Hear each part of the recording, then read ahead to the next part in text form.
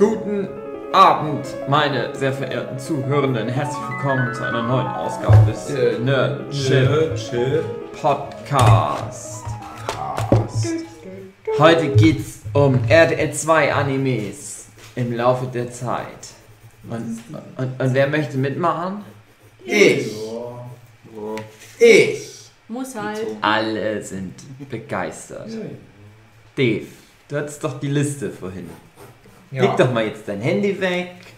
Hör mal auf, hier so schöne Kunstwerke zu erschaffen. Dave hat so ein riesiges Leinwand hier jetzt aufgebaut.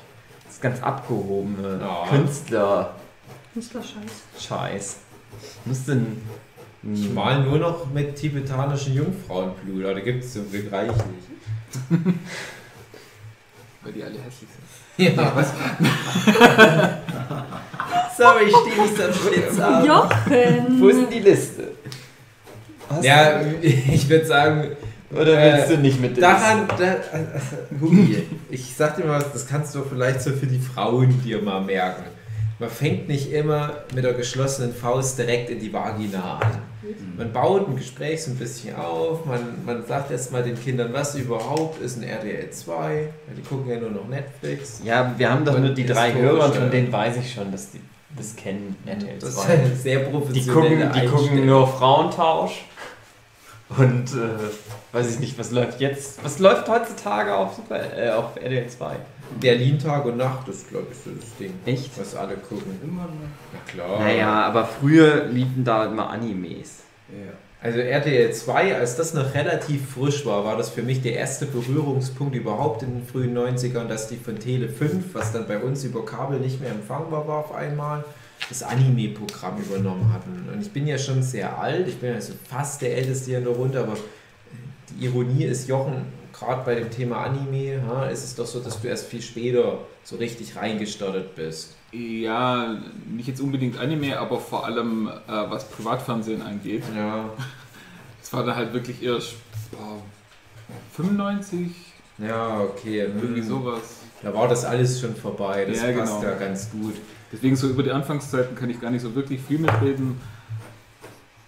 Und danach ging es bei mir dann aber auch relativ schnell, dass ich dann eher auf Cartoon Network irgendwie englisches Zeug angeguckt habe. Mhm. Die ganzen schlechten alten Hanna-Barbera. Oh nein. Ja. Ja, das wird auch nochmal ein Thema für sich. Oh. Ja, wir hatten ja schon mal shitty Trickfilme. Gibt es eh heute viele Überschneidungen. Wir hatten ja mal vor einigen Jahren, vielleicht könnt ihr euch erinnern, beschissene Trickfilmserien hieß, glaube ich, die Folge. Und da musste ich ganz viel an die Zeit denken, weil da ja wirklich alles noch vermischt wurde. Da gab es ja auch nicht direkt die Anime-Blöcke, wie es heute bei Pro7 Max zum Beispiel der Fall ist oder dann mal auch eine Zeit lang bei MTV 2 oder was es da alles so gab, sondern da gab es halt Trickfilme. Und da war aber in Deutschland schon immer eine relativ hohe Dichte an Anime. Und ich bin ja tatsächlich aufgewachsen mit den Tele 5 Anime. Das war dann das Bim Bambino, das war so eine Stoffmaus, die auch nächste, nächste Crossover, äh, nämlich ähm, Bim Bambino und Benjamin Blümchen, könnt ihr euch ja nochmal unsere Hörspielfolge anhören. Oh Gott. Äh, Bim Bambino war halt so ein Animat, nee, das war halt jemand, der das gespielt hat, aber ich weiß nicht, wie irgendwie so eine Hand irgendwo im Arsch von der Ratte oder was und hat gemacht und das Ding hatte Googly Eyes. Und da hatten die ein paar Anime damals schon. Man wusste ja natürlich nicht, dass das Anime war. Und ich war noch im, im Kindergartenalter, muss man dazu sagen. Und wo ich dann an die Grundschule komme, war das auch perfekt der Übergang. Bim Bambino und Tele 5 gab es dann die ganze Zeit nicht mehr. Und die Leute, die das Bim Bambino gemacht hatten, haben dann bei RTL 2 Vampi gemacht. Ich weiß nicht, sagt euch noch Vampi? Ja. Könnt ihr das grob beschreiben, was das war? Trauma. Soll, was, sollte es eine Fledermaus Naja. eigentlich darstellen? Alte Vampirzähne. Ja. Eine Und rote Fledermaus. Augen oder Schnauze. Für mich war das halt ein Hund. Ehrlich gesagt. Das war nicht so richtig so. Lemming auf Steroiden. Das Ding ist, ich glaube nämlich auch eher, dass es ein Hund ist. Das das. Vampir.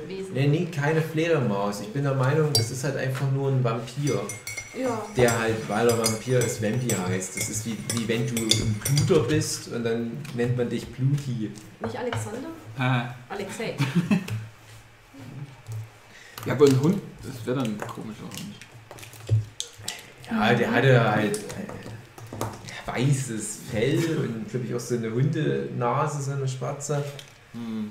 Und der hatte dann immer noch so eine Co-Moderatorin, was ja damals recht populär war. Gab ja dann zum Beispiel auch Hugo, ja, wo dann ja, so, so Leute wie eine Sonja Zietlow ihren Einstand hatten in der Gesellschaft. Und es war halt auch bei Wempi, der hatte dann immer so eine Oma, die mal ein bisschen was mit gekocht hat. Und äh, halt so eine Frau mit Locken, so ein bisschen auch wie, wie bei, wie heißt es, Schloss Rabenstein oder Schreck? Schrecken, Schreckenstein mit der Frau in dem Koffer und dem Rabe. Also dieses Ja, Konzept einfach nur. Wie? Nee, nee, Ah, es- Wie hieß es? Irgendwas mit Stein. Ja. Ja, ihr wisst aber, was ich meine von Siebenstein. öffentlich-rechtlichen Siebenstein. Siebenstein, genau. Und irgendwie war das damals so, ja, Kinder verstehen nur Mädchen, wenn da irgend so eine Handpuppe mit Hand im Arsch da Zusammen. Ja, genau. Zusammen mit einem Mensch irgendwie durchs Programm leitet. Du kannst nicht einfach nur losgelöst diese Trickfilme hintereinander zeigen, dann müssen die Kinder speien. Und ich habe halt gedacht, ach komm, scheiß drauf, ich fühlte mich damals mit sechs Jahren schon zu alt für so einen Scheiß. Und so 92, 93, so in der Dreh rum war ich halt in der ersten Klasse und ja, ich weiß es noch genau, das Wetter wurde auch langsam schön und ich war dann immer nach der Schule bei meinen Großeltern und habe da noch Mittag gegessen und habe meinen Kumpel besucht dort und dann, es war im selben Dorf, wo ich auch gewohnt habe und bin dann halt Nachmittag nach Hause gegangen. Da gab es dann aber diese Phase, wo ich irgendwie hängen blieb auf dem RTL 2 Trickfilm-Blog. Ich sage jetzt bewusst noch nicht Anime, weil das halt wirklich so 50-50 Teilung damals auch noch war. Und das war ganz schlimm, weil ich da regelrecht süchtig wurde. Ich sag mal so, im frühen 1993 war ich regelrecht fernsehsüchtig. Bin ich auch mal fett geworden. Innerhalb von ein paar Monaten habe ich mir eine richtige Plaunze rangefressen, weil ich da bei meinen Großeltern immer was zu naschen hatte. Habe ich Vampir reingehauen, Erdnussflips gefressen, Knusperkugeln, Mürbe-Kekse mit Schokoladenüberzug und das habe ich halt ein halbes Jahr oder so gemacht und dann war Point of No Return. Also dann musste ich an mir arbeiten. Fitness Hukio. Da warst du noch ein richtiger Nerd. Ja, da war ich mal. Ein richtiger- ich- Da habe ich das erste Mal wirklich das erlebt. Da hättest du noch ein Otaku als, als. Lifestyle für sich Mhm. also gepachtet haben Ja. und sagen, ja, ich fühle mich da aber wohl dabei. Es ist schade, dass, ich du habe dann, erkannt, nee. dass du dann den falschen Abstecher Ja, gemacht genau, hast. Chance verpasst. Sport. Und Sozialleben. Ich habe mich dann auch regelrecht selbst äh, über mich geärgert, weil ich gemerkt habe, ich verbrauche da jeden Tag drei Stunden nur für so einen Rotz. Und, äh, mein Kumpel müsste eigentlich jetzt äh, äh, in der Nähe irgendwo rumspielen. Da könnte ich doch eigentlich mal zu dem noch also noch ein bisschen mich da sozial mit integrieren. Das war mir sehr peinlich, aber das Ding war ja, dass RTL 2 ja allen Anschein nach ein Programm hatte, was mich gecatcht hat. Und dann hatte ich heute in Vorbereitung für die Folge mal im Internet gesucht, was gab es denn da überhaupt so für Trickfilme, die mich da so interessiert haben könnten. Und ein paar fallen mir sofort ein. Und das sind übrigens alles durch die Bank weg Anime. Das habe ich dann im Laufe der Jahre mal gelernt, dass die, die mir am besten gefallen haben, tatsächlich schon alles japanische Trickfilme waren. Und ich habe dann halt geschaut und keine so eine richtig gute Liste gefunden, aber ein paar verschiedene Listen, wo jede von denen ein paar der Trickfilme halt auch mit aufgelistet hatte. Und wo ich aber dann gestaunt habe, war, in welchem kurzen Zeitraum sich das alles abgespielt hat.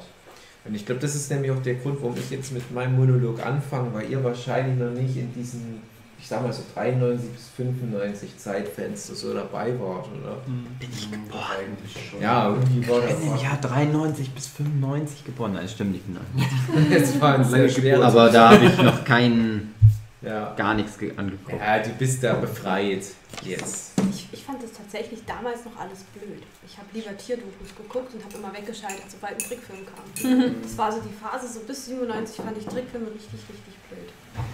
War bei mir ganz anders. Ich habe das alles damals sehr wertfrei geguckt und einfach alles angeguckt, was da so kam.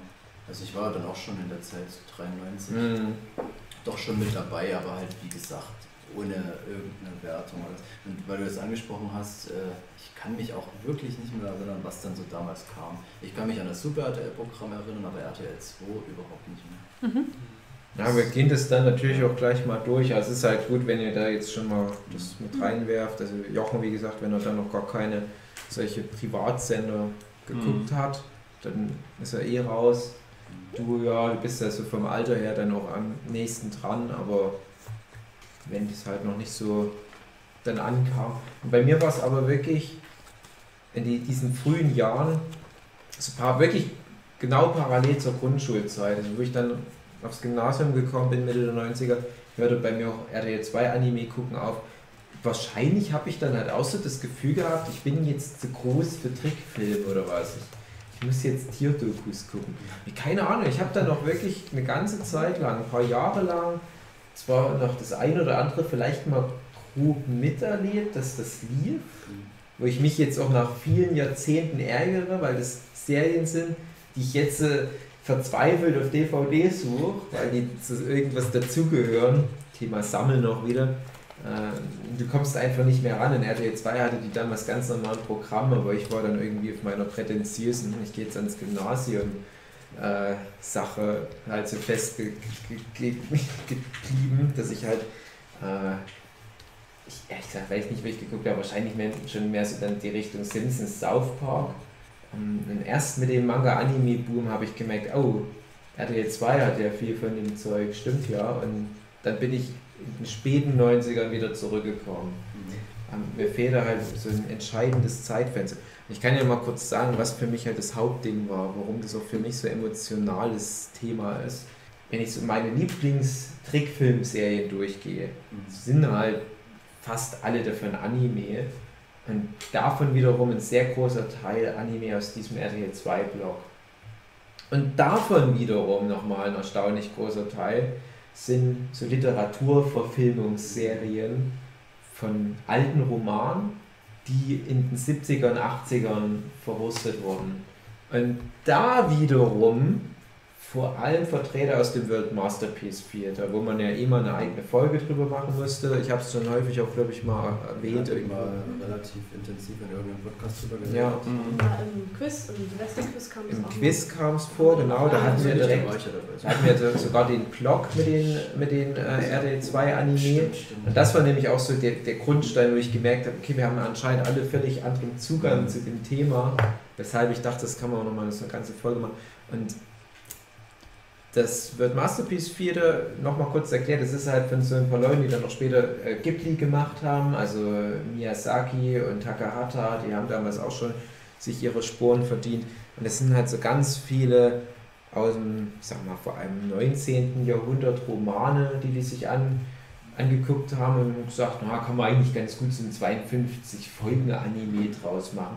Und die sind so herrlich bodenständig, so herrlich geerdet. Das ist nicht so dieser Bullshit, wie man es heute kennt, was ich ja nicht so mag. So dieses, wir hatten es auch mal in einem Vorgespräch, so, so regellose Welten, wo einfach alles passiert und zack, ja noch eine Verwandlungsstufe. Und das waren so ganz normale Alltagsgeschichten, was heute auch niemand mehr angucken könnte, weil alle einschlafen würden. Für mich war das damals genau das richtige Maß an Dramatik. Und ich habe mich da mal ernst genommen gefühlt. Dafür, dass es ein Trickfilm war, ging es um ein bisschen mehr als einfach nur, da ist irgendwie so ein Hase, der haut mit einem Hammer auf eine Katze.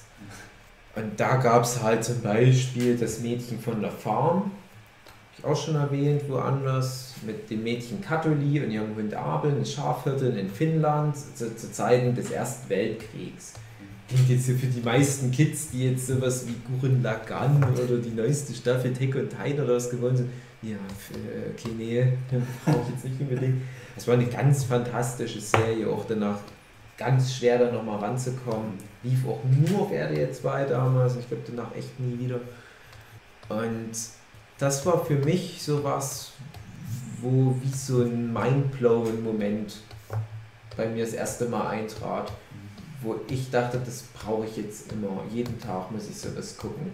Und RDR 2 hat das sehr gut gemacht, weil immer wenn da eine Staffel davon durch war, haben die eine neue Staffel aus dem World Masterpiece Theater als Nachfolge einfach für den Timeslot gebracht.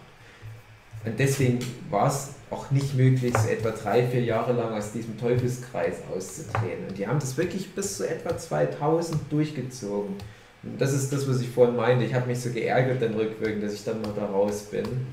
Weil ich dadurch ein paar von diesen World Master Theater Serien verpasst habe, die danach auch nie wieder zugänglich waren gibt es keine DVD-Boxen davon, gibt es nirgendwo im Stream. Kannst die auch nicht irgendwie illegal im Netz finden, weil wenn überhaupt hast du da mal eine Folge in einer schlechten VHS-Qualität. Und das ist sehr ärgerlich.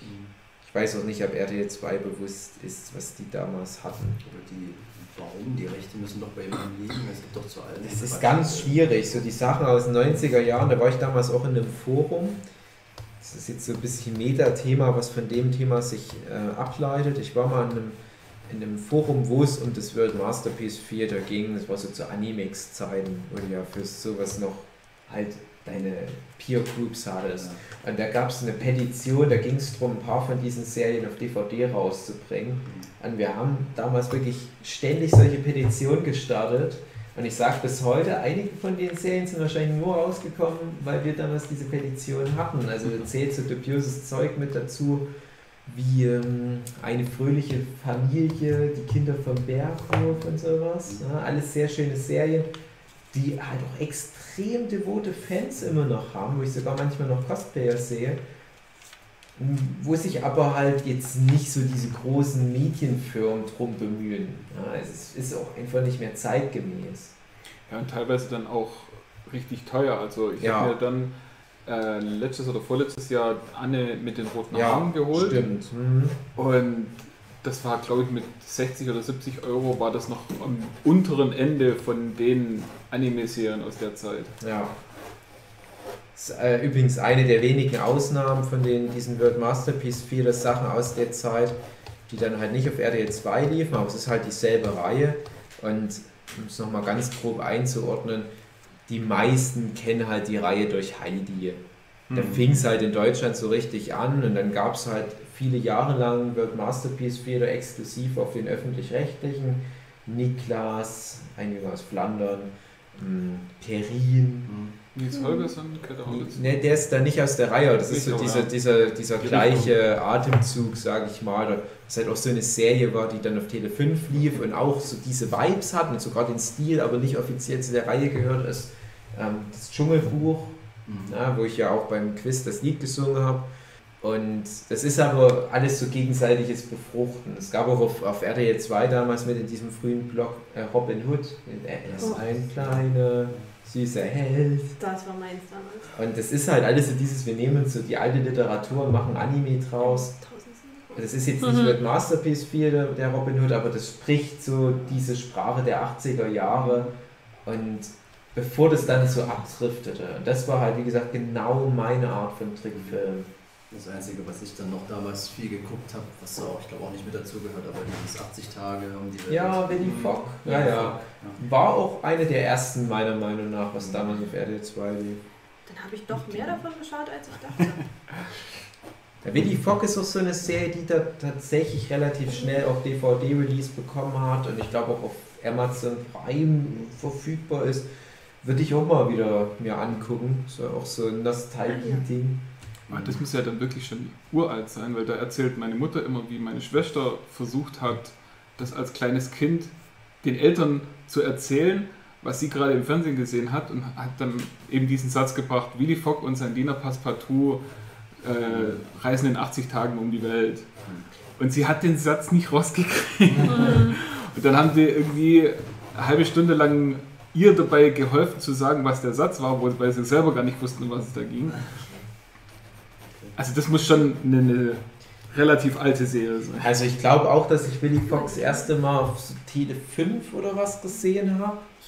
Und dann kam das aber nochmal auf RTL 2. Sie haben halt die Lizenz übernommen. Ich kenne das nur noch von RTL. Und da gab es dann sogar noch Spin-off-Serien, wo die dann so verschiedene Jules Verne-Sachen noch mit denselben Figuren gemacht haben. Das waren ja alles anthropomorphe Tiere. Genau. Dann gab es ja den Willy Fogg als Löwe, Passepartout war so eine Art Katze. Und dann gab es noch diese indische Prinzessin, es war halt so eine Art Ja, Pantherfrau. Stimmt.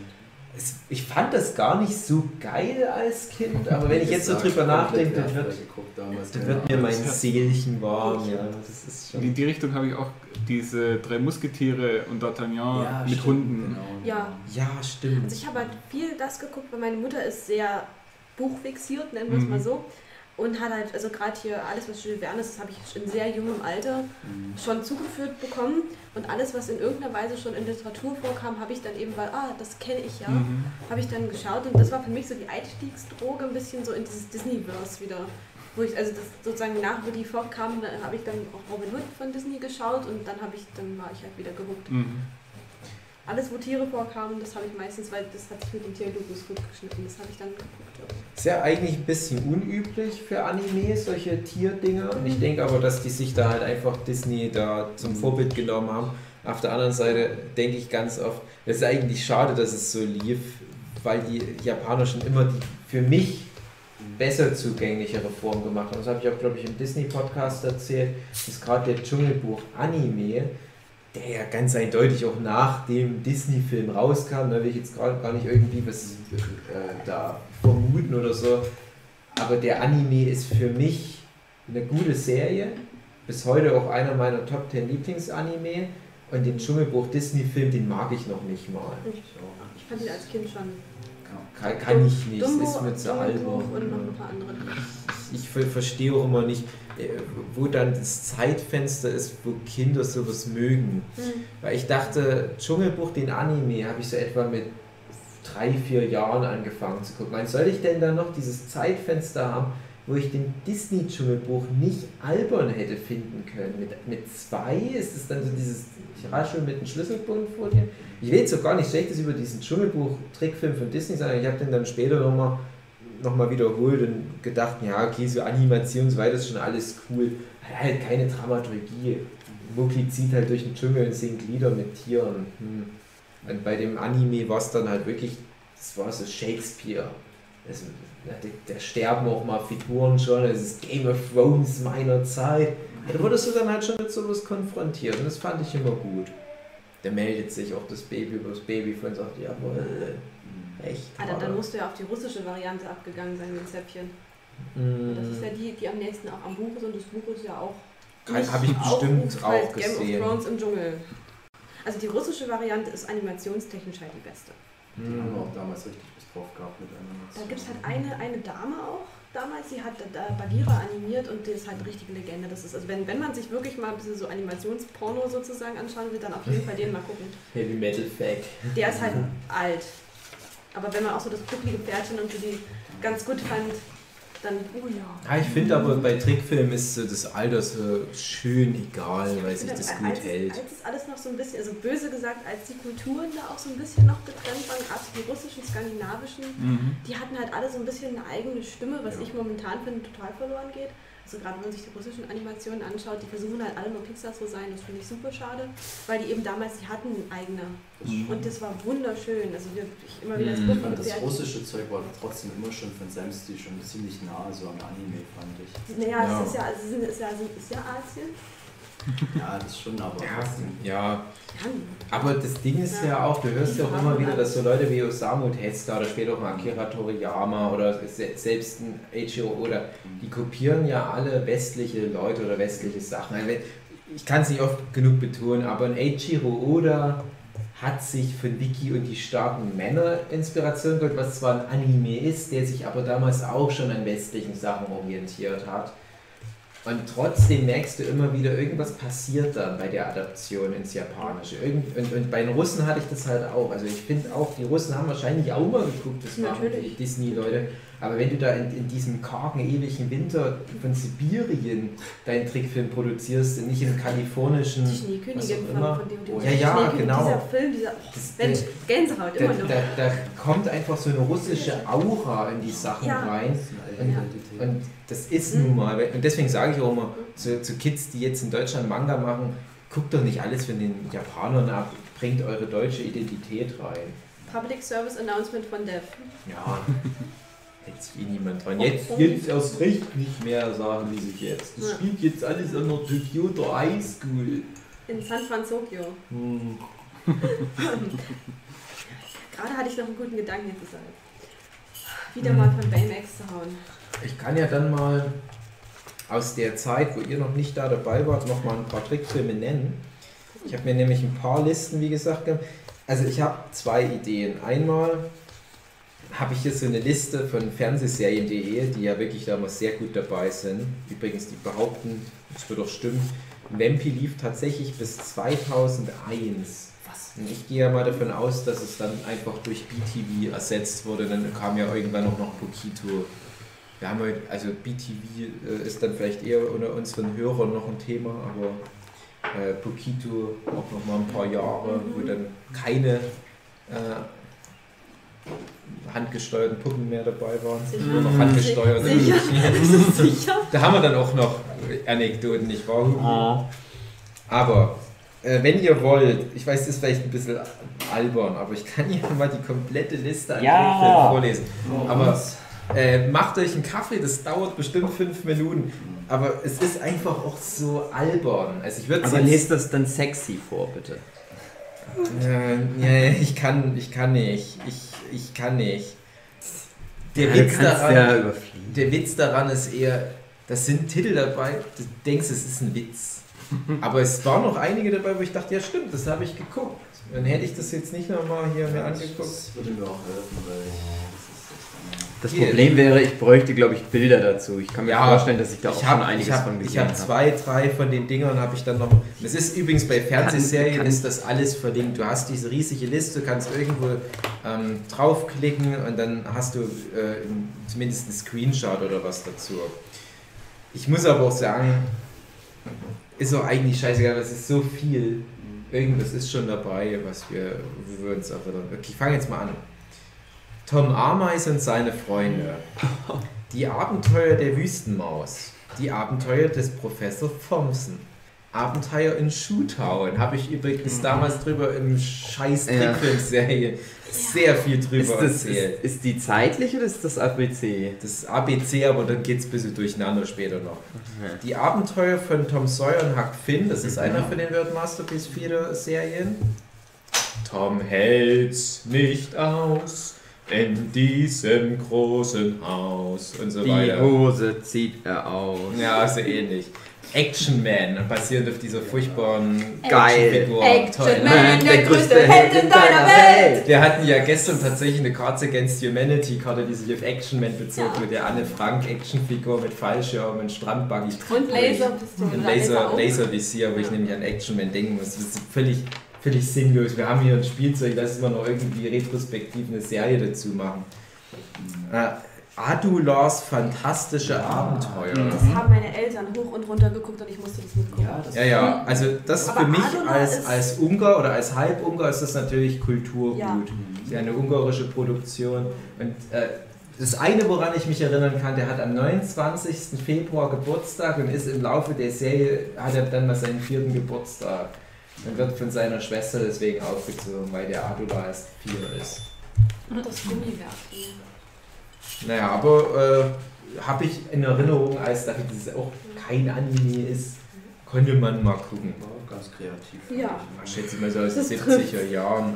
Ja, das ist so ein bisschen Tim und Struppi. Das war, woran ich immer denken muss, diese Folge, wo da so eine 2D-Welt geht, die Ja. so ganz platt Das ist auch die Folge, die hat sich aber richtig eingebrannt. Das fand ich. Da gibt es äh, in Space Dandy einen Bezug drauf und das habe ich. war schon teilweise recht unheimlich, die Folge. Ja, die war. Mhm. Die war- Siehe auch Inside Out, die dann ganz heftig kopiert haben. Alles steht Kopf für Pixar, 2D-Welt. Definitiv Ja. Adular's Adventures. Das ist alles aus einem Ende 19. Jahrhundert Roman Das Flächenland. Siehst Jochen weiß besser. Wieder was gelernt. Ja, das ist so der erste Roman, der, wo es darum geht, äh, ähm, Was wäre, wenn. wie, was wäre, wenn's in, wenn wir jetzt nur zwei Dimensionen hätten und Mhm. da wird dann erzählt mit irgendwelchen ähm, ja, Flächen, Viechern, die da rumläufen. Also irgendwie eine Gesellschaft, äh, quasi so die Dreiecke, das sind so die Dummen, die Unterschicht und die Viereckigen, das sind die Arbeiterschicht und ab den Fünfeckigen dann, fängt es dann halt an, so die Gelehrtenschicht zu werden. Dann ist wahrscheinlich das in Space Dandy eher davon gewesen, weil das ist Ja. praktisch das System, was sie da auch Es ist aber furchtbar frauenfeindlich, weil Frauen sind da quasi nur Striche oder Winkel, also gar keine 1D. Ecken. Ja. Dann ist es definitiv, weil das ist nämlich ein Running Gag, dann in ist eine der letzten Folgen auch und da geht es auch um die Mhm. 1D-Frau Hey. und das ist. Macht mich fertig. Da geht es halt darum, dass ein, eine von diesen Flächen äh, von einem 3D-Wesen in die Dreidimensionalität gehoben wird und das dann erfährt und die dann gemeinsam, also das 3D-Wesen und das 2D-Wesen in ein 1D-Universum noch reinkommen, wo es dann quasi nur eine Linie ist, wo jeder nur den vor sich oder den hinter sich bemerkt. Also es ist ganz abgespaced. Wenn das heute ein Anime wäre, wären die alle wunderschön. Hast du Space Dandy geschaut? Leider immer noch nicht. Ich komme nicht dazu. Warum reden wir miteinander? Ja, ich weiß schon. Ich hab doch. Also das ist eigentlich dein, das ist eigentlich deiner. Ja, ich weiß schon, das wurde mir so oft empfohlen, Ja. aber ich habe nie Zeit, um so Sachen anzugucken. das Ding besteht aus Meta. Ja. Meta, wahre Meta. Ja, ja. Na gut, das ist ein ganz schön weiter Exkurs von Okay. Adulas lustige Abenteuer. Alle lieben Diggi, das könnte von jetzt sein, so diese deutsche Hip-Hop-Albumtitel. Alle lieben Diggi. Äh, Alvin und die Chipmunks, ich hasse Ja. den Scheiß. Ja, das habe ich wahrscheinlich Ich hasse gesehen, die leider. Fick- Ich, Leider. mochte, ich mochte alles, wo Musik drin vorkam. Ich hasse die Alvin Chipmunk Scheiße. Düp, dü, dü, dü, dü. Wir sind die Chipmunks. Geile Chipmunks. Alvin, Simon, Theodor. Ne, ne, ne, ne, ne, ne, ne, ne, ne, ne, ne, ne, ne, ne, ne, ne.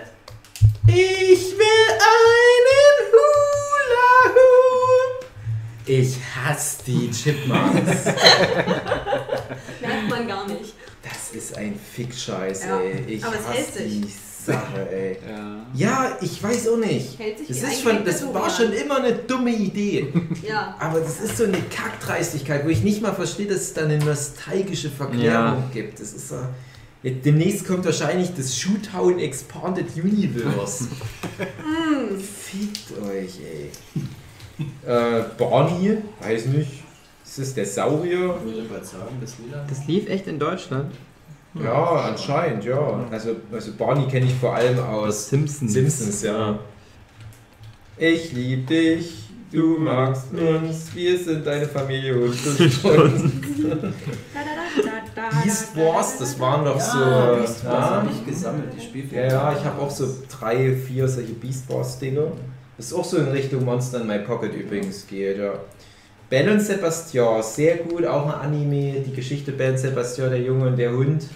Ähm, da war es aber ein Twist. In der Version hatte der zwei Hunde, auch so ein Ding, was glaube ich während dem Zweiten Weltkrieg spielte und was sogar meine Mutti geguckt hat. Ich war in den Hund ganz verliebt. Also ich weiß nicht, welche Version du jetzt gerade ansprichst, aber Ben Sebastian ist eine schöne Geschichte, so prinzipiell. Gibt es immer mal wieder eine neue Version, aber der Anime für mich Geisterscheiß.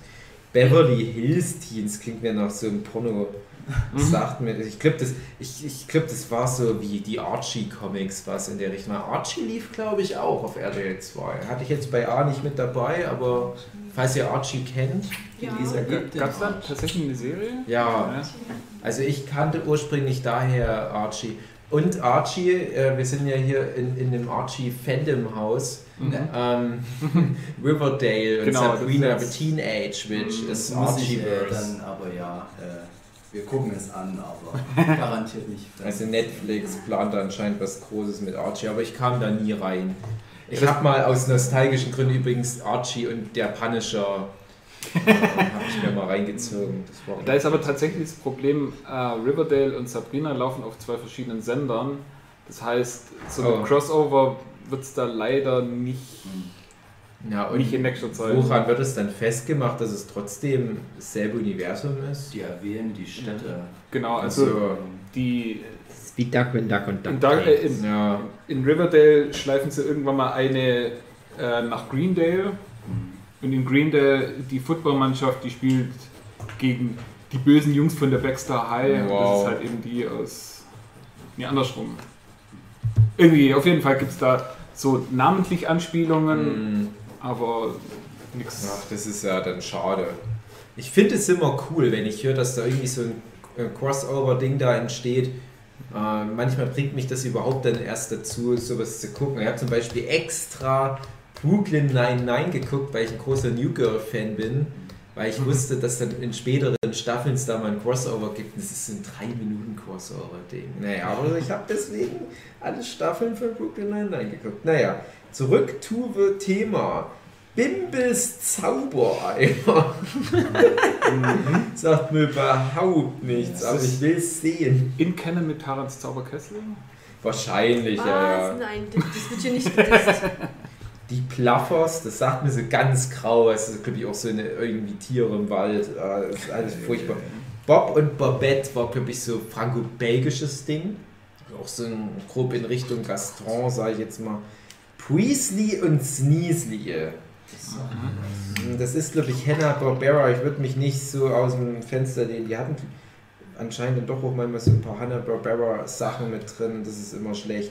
Ist das, wo es selbst für Cartoon Network zu schlecht war. Ja, Buttons and Rusty sagt mir überhaupt nichts. Cardichon, das hatte ich mit in meiner shitty Trickfilm-Sache. Das ist so ein Esel. Mhm. Das hatte, glaube ich, zwei Staffeln. Das hat man irgendwie erkannt, dass das, also wussten wir ja noch nicht wirklich, was Staffeln sind, aber irgendwie wusste ich, dass da, dass da was passiert war zwischen zwei Folgen. Das, das mochten viele bei mir sogar in der Klasse. Einfach nur so eine Geschichte von dem Esel, der quer durch die Lande zieht. Und das war aber so super melodramatisch, wollte das sein, aber das hatte so kein Taktgefühl für so. So, so vielleicht aus einer Zeit, wo Serien wie unten, äh, also ähm, Trickfilme wie unten am Fluss oder mh, Animal Farm bei Dritten gerade rauskam. Und ich hatte so das Gefühl, die wollten optisch ein bisschen die Richtung und auch so ein bisschen die Tränendrüse mal rankommen, aber war ganz, ganz furchtbar. Mm, Cap nach Calimero mag ich Mhm. auch nicht, kann ich nichts mit anfangen, hat eine große Fangemeinde. Ja, das fand ich als Kind ganz komisch. Da fand ich als Kind den Charakter halt niedlich. Mm, dann, der war halt so ein Weichei. Für Ja, mich war Calimero immer in Kennen mit. Jododus Ja.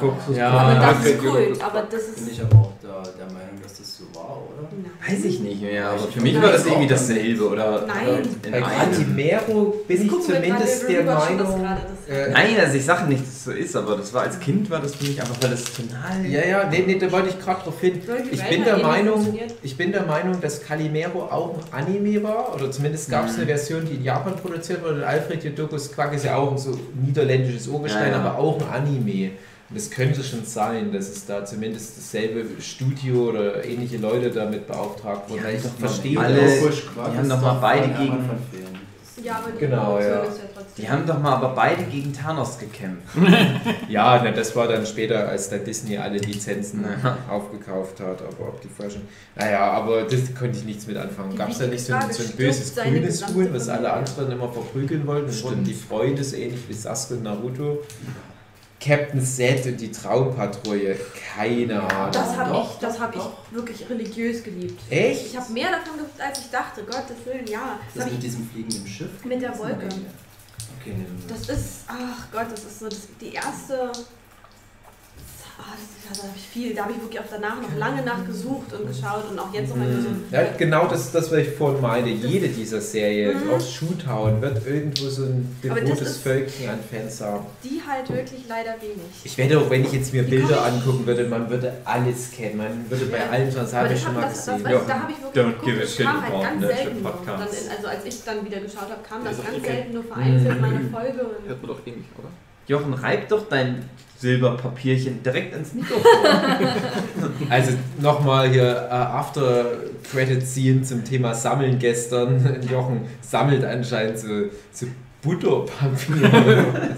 das kann man muss aber Minz sein Da kann man doch Kraniche draus basteln. für, für später mal Ebay. Nee, nee, aber das müssen wir wirklich Jochen lassen. Also der macht da echt immer schöne Kraniche draus.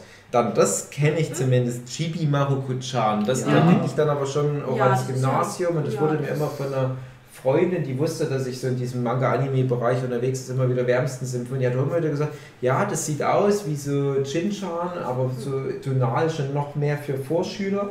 Aber unterschätzt das nicht, das greift einige unangenehme Themen auf. Wahrscheinlich das weiß ich gar nicht.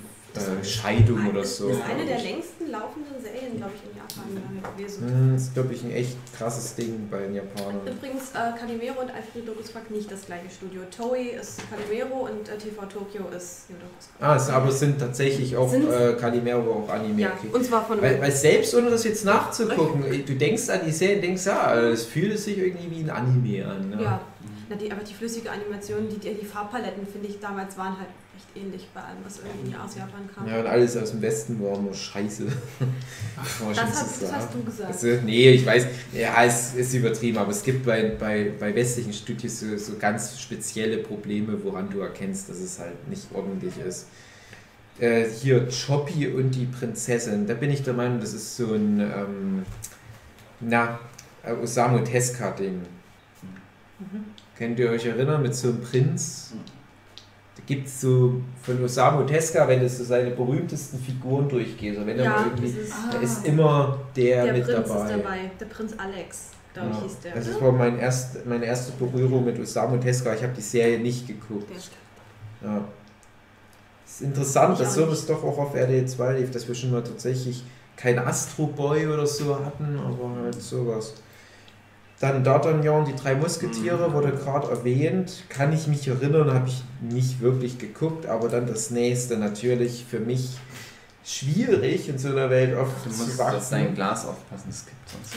Ja. Äh, das nächste ist nämlich David der Kabauter. Und da würde ich einfach mal behaupten, da hat jeder von uns mal reingeschnuppert. Lustig Blödsinn sagt mir jetzt gar nicht. Warte. Er ist David der Kabauter, er ist 100 Oh, Jahre alt, das er lebt das in Ende einem. Ach, ja. Am Das Ende alle tot, ja, ja, der kommt frei mit. Finger. Der hatte doch einen du Crossover. Also wer, wer mal ein bisschen Also Wein will, das sind halt das. Gartenzwerge, Ja, die ich wohnen kenn im das Wald nur. haben Fuchs als. Freund. Weil das in den ganzen Listen Top 10 traurigste Zeichentrickserien enden. Das ist Naja, halt- Das ist drin. Nee, ich Mich hab hat das nicht mich hat das gesehen, richtig aber- enttäuscht. Ja. Och man, das ist ja doof, dass die alle tot sind. Ich weiß noch, Das das ja lief erst auf, auf RTL und Die die hatten da, Und ich dann weiß, wachsen zwei wunderschöne Bäume. Und das wurde damals auch von RTL so richtig krass angeteased. Die hatten da schon Monate vorher in ihrem Samstagvormittag Kindertrickfilm-Blog immer wieder David der Kabaudo geteased. Und das, das wird der krasseste Scheiße, wie das Endgame jetzt dieses Jahr war oder die letzte Staffel Game of Thrones. Du musst das gucken. Das kann nicht sein, dass das dann einfach gerade im Fernseher läuft. Jurassic Park musst du doch auch Kinotickets extra kaufen. Und dann lief das halt und dachte, das ist ganz nett. Und dann war das halt vorbei und die waren alle tot, aber da war ich nicht traurig. Dann gab es noch eine zweite Staffel auch davon. Ja, ist okay, aber da haben unheimlich viele Leute so ganz emotionale Bezüge zu dem Kram. Dennis and Knasher, noch nie Oh. gehört. Fürchterlich. Das war, da, das war eine der Serien, warum ich teilweise aufgehört habe, die, also dieses Vormittags- oder Morgensprogramm ab früh um vier Was ist mir das sagt? zu gucken. Das, ist, das kennst du bestimmt, wenn das Ja, wie gesagt, wenn ich mir jetzt hier von allem Kram Screenshots angucken würde, definitiv. Das nächste ist Denver, der letzte Dinosaurier, sagt mir jetzt auf Anhieb auch nichts. Ist das was für euch? Geht dann gleich so weiter. Detektiv Bogey. Hm, das Dinky so Dog ein- ist doch auch so, glaube so ich, auch so ein einfach. Hanna-Barbera-artiger Rotz. Dino Babies. Das Ja. ist wirklich, wie gesagt, das wirkt wie ein Witz, als würde es das nicht geben. Ja. Das ist der Detective Bobby. Ah, ach, fick den Scheiß, das sieht dumm aus. Das war, glaube ich, eine Phase, Das sieht aus wie was. Bei welchem, bei welchem Jahr sind wir jetzt? bekloppte- Nee, das ist einfach Ah, nur 94, durch, das- durch okay. die Bank weg, alles durcheinander. Doremil, klares Ja. Ding. 13 Mal Europa? Hm, Nee. weiß ich nicht. Äh, Troopy, der Meisterdetektiv, das Ah. kennt man ja, so eine bekanntere Hanna-Barbera-Figur tatsächlich. Oh, Hm, Ja, Droopy ist doch aber auch Looney Tunes, oder? ja. Echt, ist der beides? Nee. Weil die haben doch mal, die haben doch bei Warner, die haben doch zu Warner gehört ganz lang. Die haben Ach. sich doch verkauft, weil sie mussten. Ah, das kann sein. Hm. Hm. Naja, aber auf alle Fälle eine uralte Figur Ja, und so ja, Zeug ja. gucke ich nicht mehr an. Ich gucke nur neues Zeug. Ja, ja, die ist, äh, Zeigen? Ja, doch. Man- der- man Ich, kennt ich habe mich vor dem geekelt. der ist immer so Ich dachte, chronisch so müde. falsch. Der gehört aber zu Looney Tunes. ja, Ja, ja. Ähm, Der- hat, der hat ja- Barbera hat sich äh, sozusagen als Animatoren und Schreiber, die, also die Bilden haben sich da, Hm. die haben ihr eigenes Studio aufgelöst, sind dann Teil von Warner geworden. Das, Mhm. die, so lange gab es die gar nicht. Ich Hm? dem- Dem sein ganzes Gimmick war ja, dass er eben immer müde und Ja, gelangweilt ja. und Ja. was auch immer ist, aber Und ganz langsam gesprochen hat. ganz langsam gesprochen hat. Aber wenn dann irgendjemand ihn übertrumpfen wollte oder ihn irgendwie besiegen wollte in irgendeiner Form, dann war er doch immer schneller und besser und toller. Hm. Und da gab es so einen ganz ekligen Soundeffekt, der irgendwie immer kam, wenn er gelaufen ist. Die Nee. Das geht. Ach Gott. So, ich werde jetzt mal ein paar Serien einfach mal ein bisschen schneller runterrammeln. Wenn ihr mal irgendwo einhaken wollt oder ich auch, dann einfach rein mit euch. Ähm, die Dschungelbande, pf, keine Ahnung. Duckman sagt mir auf Anhieb auch nichts. Einsatz für Elliot Maus. Wie gesagt, das klingt ausgedacht. Duckman. Dann, das ist tatsächlich für mich ein Thema Familie Nikolaus. Ja, klar. Dabei? Seid ihr dabei? Ja, ja. Familie Nikolaus, Familie Nikolaus, Sie friert nicht im Winter. Familie Nikolaus, Familie Nikolaus sorgt sich um die Kinder. Da geht es halt um so ein Klingt- Dorf in Finnland. Klingt ehrlich Und, äh, gesagt auch so, als ob du es dir ausgedacht Die, hättest. die, das, die sehen sogar aus wie David der Klabauter und die bauen das ganze Jahr Geschenke für die Kinder und dann letzte Folge Weihnachten und dann werden die ganzen Geschenke Das ausgeliefert. war mein sterben Ersatz, die? mein Ersatz dann danach. Und Oder- oder äh, ich werde es dann aber noch ich mal nicht brauchen. Ich werde nur noch das austrinken. ja. So, ich, ich unterhalte mich noch gerade mit so darüber, dass ich mir die Leinwand wegnehmen will, warum auch immer. Verbrennen, was sonst? Nein, ich mach gleich, ich muss nur was trinken zwischendurch, weil ich einen ganz trockenen Hals habe. Du ist immer ganz streng mit mir, wenn ich mal fünf Minuten zwischendurch nicht arbeite. Äh, Wenigstens schlägt sie dich heute nicht. Ja, ja, das kommt dann noch, das kommt dann noch. Ich will ja nicht alles spoilern. Genau, also Familie Nikolaus immer so zur Vorweihnachtszeit war ein großes Ding. Die singende Familie Trapp ist auch Worldmasterpiece 4 und tatsächlich eins, was ich nicht geguckt habe und wenn ich mich nicht irre, ist das doch ähm, hier, ist, hier, was so viele Oscars gewonnen hatte, dieser Musicalfilm mit Nazi-Deutschland und Schweizer Alben. Wie heißt denn der? Nicht My Fair Lady, oder? Wie heißt denn das Ding gleich? Ähm, Sound of Music. Sound of Music, genau, Sound of Music. Motiviert sowas. Singende Familie Trapp. Das war doch die Vorlage von der Kelly Family. Ja, ja.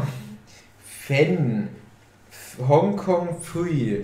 Ist das einfach Hongkong Free? Ja, wie- das, wie- wie da, fängst du der lief auch auf. Network. Radadadadam-dam-dam. Haben alle bei mir in der Klasse geliebt. Ich fand's scheiße, aber ich musste jede Folge gucken, um mitreden zu können. Ich hasse so einen Scheiß. Da war ich dann. Das, Ein Hund, der Kung Fu kann. und Der war witzig. das sieht aus wie der Seppel. Eine Serie, die ich mag, Fufu. Ja, da, ja. Mit dem dicken, großen, weißen, knuddeligen Hund mit der blauen Nase. Das ist eine franco-belgische klassische Comicserie. Und das hatten die Japaner sehr gut adaptiert. Also es war- halt ein Anime, der aber komplett diesen franco-belgischen Asterix-artigen Stil hatte. Das ist auch so ein bisschen Dr. Slump-mäßig, wenn man so drüber nachdenkt, mit so einem Wissenschaftler. Der konnte nicht fliegen. Hm, weiß ich nicht mehr. Oh, dann die Fraggles tatsächlich liefen auf RTL 2. Frau Pfeffertopf, das sagt mir was. Das ist, glaube ich, auch ein Anime mit so einer alten Frau mit einem großen Kopf und so einem kleinen Gesicht. Kleine So ein Füße. bisschen gemütliche Kleine Serie. Hände. Dann, jetzt geht es nämlich für mich auch langsam mal wieder weiter. Äh, Eine fröhliche Familie. Ah. Ganz großer Klassiker, was zum Glück auch mittlerweile auf DVD gibt. Mm, Gargantua, weiß ich nicht. Dann nächstes äh, wird Masterpiece wieder, was gerade der Zeit war, wo ich nicht geguckt habe. Das Geheimnis von Daddy Langbein, beziehungsweise Daddy Longleg hieß es, glaube ich, trotzdem auch auf, auf Deutsch. Äh, was, glaube ich, sogar abgesetzt wurde mittendrin in der Staffel. Hm, schade. Na, weil ich es nicht mehr geguckt habe. Ganz großes Ding bei mir in der Klasse auch Georgie. Kennt ihr Georgie? Riesending Ja. in, in Japan gewesen. Mhm. Shoujo-Manga, der dann zu einem Anime verwurstet wurde.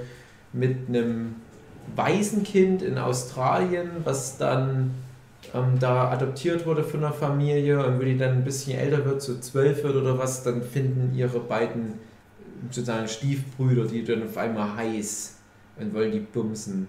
Wo ich dachte, war ich auch so sieben oder so, als das lief, dachte, das ist krass, okay. Die Kinder wollen sich ja alle wegficken. Ist aber halt ein ganz großer Klassiker. Geschichten aus dem Bärenland, Geschichten aus dem Wacholderwald, die Girisaurus-Gang. Oh nein, die Glücksbärchis. Ja! Echt, die Glücksbärchis liefen Ich auch auf möchte RTL. ein Glücksbärchi sein. Das wäre wunderbar. Ein Glücksbärchi sein. Das ist doch sonnenklar. Ja, das lief aber, glaube ich, nicht ursprünglich auf RTL 2, sondern erst woanders und dann später auch mal auf RTL 2. Hm, Glaub ja, ja, nee, Oder andersrum. Glücksbärchi ist meiner Meinung nach auch so ein Tele 5 Urgestein, also Ja. in meiner Erinnerung. Äh, ja, Grimms Märchen ist so eine auch eine Anime-Adaption von mehreren Sachen. Ich glaube, das war einfach nur verschiedene Grimmsche Märchen, die dann aber nicht so auf eine Staffel ausgedehnt wurden. Hallo Kurt, großer Klassiker. Hallo Kurt, hallo, hallo Kurt. Hallo Kurt, Gott sei Dank gibt es dich. Du bist mal wieder die Rettung für mich. Kein Hund war jemals gescheiter. Hallo Kurt, lass mich nicht im Stich. Hallo Kurt äh, fand ich ganz fantastisch, ganz furchtbar, dass die das so komplett eingedeutscht haben. Das sind halt, die heißen halt alle mit japanischen Namen. Dann haben die halt in der deutschen Version alle so Namen wie Detlef und Rudolf und Klaus. und wohnen angeblich irgendwo in Norddeutschland. Ja. Aber wenn, dann macht man es so. So macht man es doch richtig, oder? Naja, dann ja, so Bud Spencer, Terrence Ja, genau. Kneipenschlägerei reinschneiden. Ja, da geht es um das Mädchen Anna. Anna Backfisch hieß die, glaube ich. Äh, die hat ihre, ihren Vater verloren und die zieht sie ihren Onkel und ihre Mutter ist Designerin in Paris. Und ihr Hund ist auch noch gestorben. Also es ist all in wirklich beim Schicksal. Und dann findet die so einen ollen Straßenköder und den findet die am Anfang noch scheiße und das ist der lustige Kurt. Und das gebe ich der Serie. Der Kurt ist für mich bis heute eine zu der prägendsten Trickfilmfiguren aller Zeiten, weil es so eine tolle Figur ist. Und dann ist es natürlich ja Haustier in Anführungsstrichen, aber Kurt ist nicht so ein richtiger Hund. Also im Kanon der Serie schon, aber der ist wie so ein Comedic Relief, was nicht so richtig da reinpasst. Es gibt so ein paar Tiere in der sonst recht geerdeten Story, es ist halt so eine Coming-of-Age, Slice-of-Life-Story. Und da hast du aber so ein paar einzelne Tiere, die mehr wie so Looney Tunes-Regeln folgen. Mhm. Das ist ein interessantes Konzept. Und das war auch das erste Mal in meinem Leben, wo ich gemerkt habe, oh, du musst jetzt schon aufpassen, was du in, in der Grundschule so kommunizierst, was du alles guckst bei Hallo Kurt dachte ich so ein bisschen, das soll ich nicht mehr jedem erzählen. Und da habe ich so eine schöne Anekdote, wo ich dann schon gesagt habe, ich kann nicht, ich, ich, bin jetzt acht oder neun, ich kann nicht mehr erzählen, dass ich irgendwie so eine Serie über Mädchen und ihren Hund angucke. Und dann war dann mal so ein krasser Typ bei mir in der Klasse und irgendwie so über so ein paar Ecken hat sich dann jemand über Hallo Kurt lustig gemacht. Ich habe so ein ganz kleines bisschen Schutz äh, so ein bisschen Partei ergriffen für Hallo aber nur so ganz kleinlaut. Und der andere Mensch, oder wie gesagt, so ein krasser Typ, dem du eher zugetraut hättest, dass er in seiner Freizeit Hunde häutet, hat so gemeint, ich lasse nichts rankommen, hallo Gott, das ist klasse. Da dachte ich, aha, das sind wohl einige, die halt so ein paar Leichen im Keller haben, was Medienkonsum anbelangt. Mhm. So, habe ich auch im Laufe meines Lebens dann genügend dieser Anekdoten noch gesammelt, wo einmal irgendwie bei, bei, bei so einer Nazi-South-Party dann jemand anfängt, dass er gerne Kingdom Hearts spielt oder sowas. Na, also die Welt ist manchmal klein, was das anbelangt. Und hm, Hallo Kurt habe ich dann nochmal viele, viele, viele Jahre später auf DVD nachgeholt und wollte es mir das so angucken. Die fand das furchtbar, wir mussten es dann abbrechen. Mhm. Und ich muss aber leider auch sagen, dass es extrem an Charme verloren hatte. Und natürlich hat es auch mein Sehverhalten äh, eingeschränkt, dass ich immer so ein schlechtes Gewissen hatte. Mhm. Weil ich immer dachte, ach so, wenn du doch nur lang genug durchhältst mit mir, das wird noch besser, ich verspreche es dir. Aber ich wusste ehrlich gesagt gar nicht mehr, ob es noch besser wird. Aber es, äh, trotzdem, ich habe das als schöne Serie in Erinnerung, aber es hält sich halt nicht alles unangefochten im Laufe der Zeit. Dann noch ein Anime, Hikari, die kleinen Superstars, habe ich auf Tele 5 geguckt. Hikari, oh Hikari, keine andere ist wie sie. Hikari, Hikari wie sie sich sie vor im Kreis bewegt. ich weiß nicht mehr genau, wie es weitergeht. Ging es um rhythmische Sportgymnastik, war echt nicht ja, schlecht. Okay. Im Land des Zauberers von Oz, hm, in 80 Träumen um die Welt, What a Twist, klingt scheiße. Inspector Gadget lief da auch. Nö. Mag ich auch nicht so gerne. Itzy Bitsy. Ja. Ja, hasse ich. Das war scheiße. Ja, das war richtig scheiße. Aber ich habe das immer geguckt. Ja. Dann Genie. Das ist eine Trickfilmversion von Genie, der Flaschengeist. Ja, nicht der Disney, oder? Nee.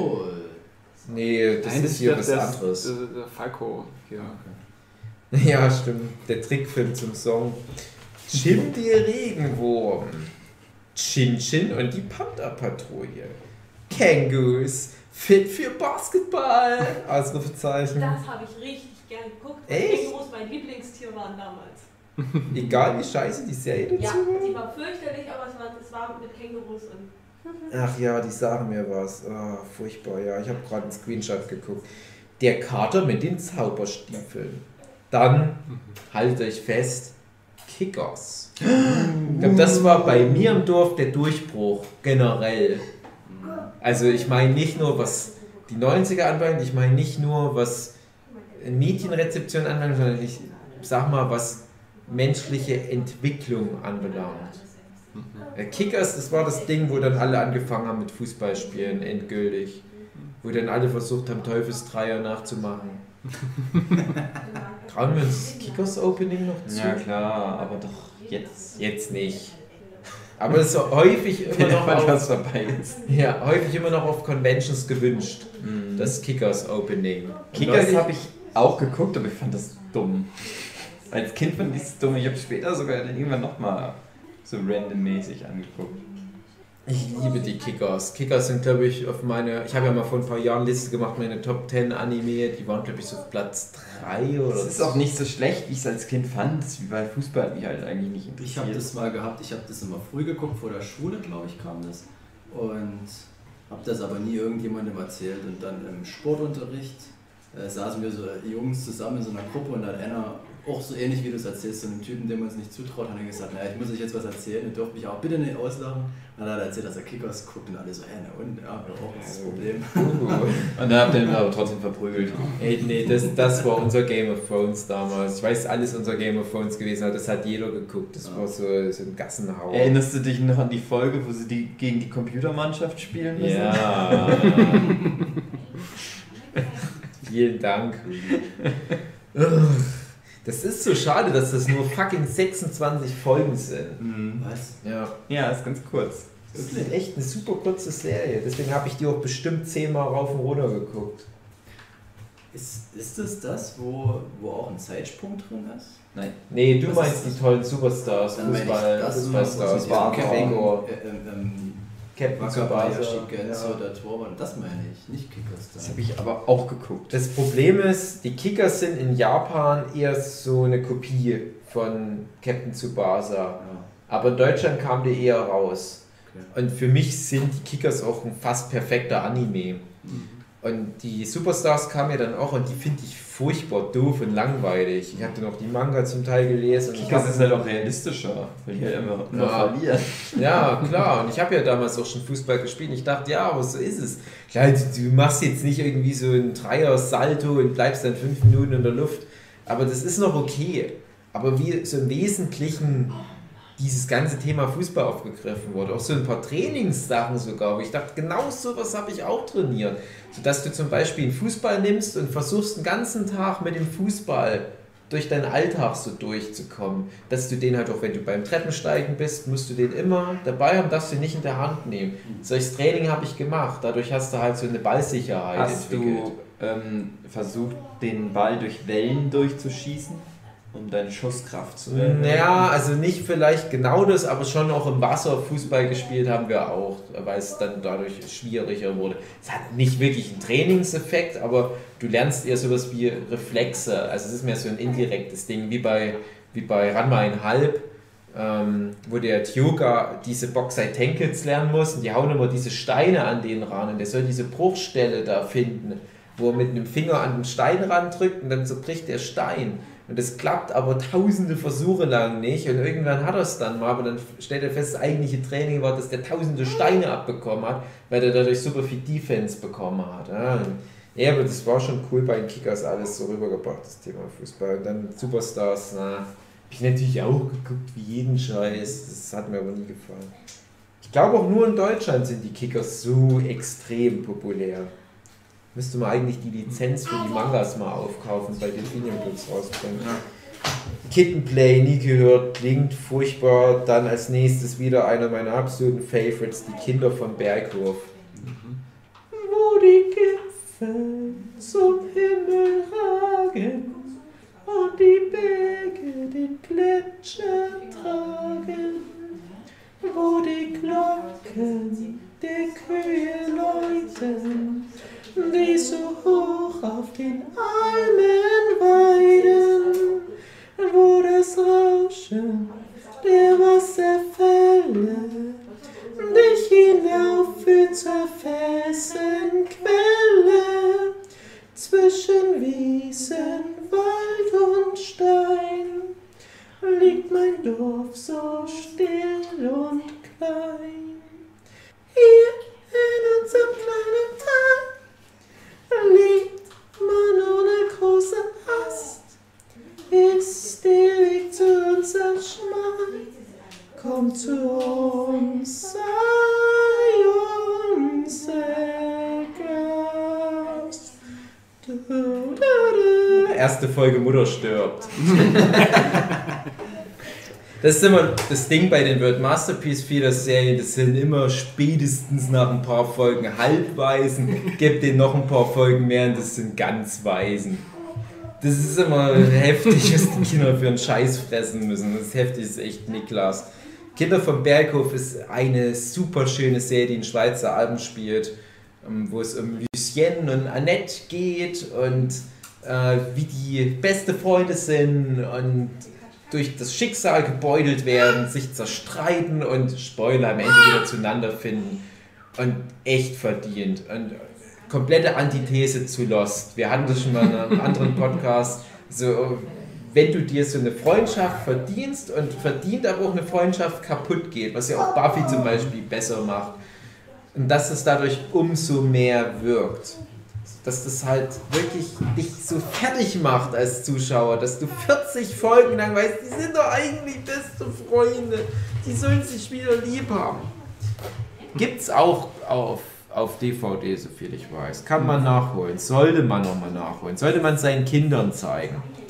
Das kleine hässliche Händlein, keine Ahnung. Nee, es wird Masterpiece Feder. Die kleine Prinzessin Sarah sollte auch eins der populäreren sein. Mit diesem Mädchen, was glaube ich von so einem indischen Kolonialmensch da die Tochter ist, der reich ist, aber dann stirbt auf einer Expedition und dann mittellos zurückbleibt und in ein ähm, Waisenhaus gesteckt wird und statt einem reichen Mädchen, was so gerade noch auf einmal ein furchtbar bettelarmes Mädchen ist, was friert und keine Schuhe hat und hungrig ist. Stimmt, Daenerys Targaryen. Ja, stimmt. Die wird dann noch von so einem fetten äh, Buschmann gebumst und erkennt dann, hey, Drachen. naja, kleine Prinzessin aber fand ich damals okay, aber das hat, glaube ich, so mit die, die krassesten Fans. Die kleine Robbe Albert, das ist scheiße. Also ich verstehe voll, dass dann danach dieser Trend mit diesen Robbenkloppen ist.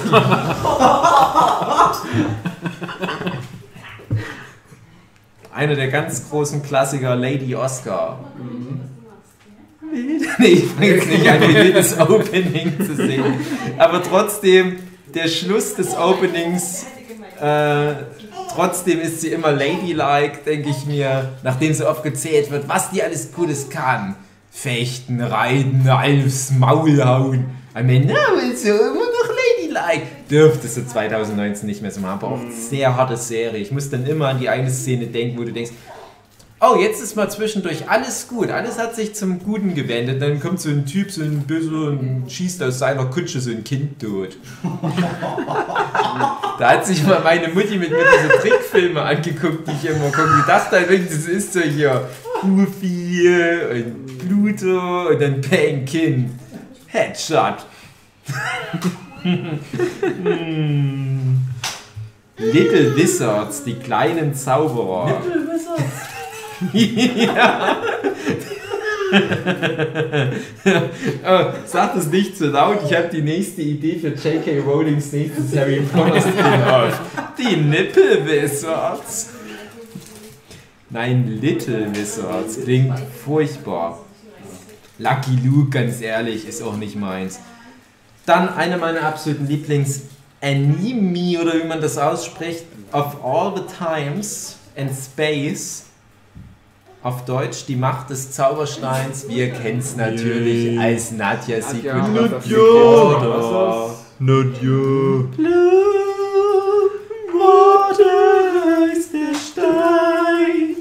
Jeder will ihn haben. Doch sie sagt nein. Finger weg von meinem Scheißstein. Nadja ist gut. Also so viel ich immer läster über Gurren Lagann, aber Studio Gainax, die machen schon alle fünf Jahre mal was Geiles. Und äh, das ist so ein, so ein Perfect Storm. Das ist, glaube ich, eine, ein Projekt, was Ghibli entwickelt hat, wo dann wieder so diese World Masterpiece Feeder Kompetenzen reinkommen. Die haben es aber outgesourced an Gainax, die man ja damals vor allem durch so Neon Genesis Evangelion kannte ich weiß gar nicht, ob die es damals schon hatten, Neon Genesis Evangelion, was jetzt eher kam.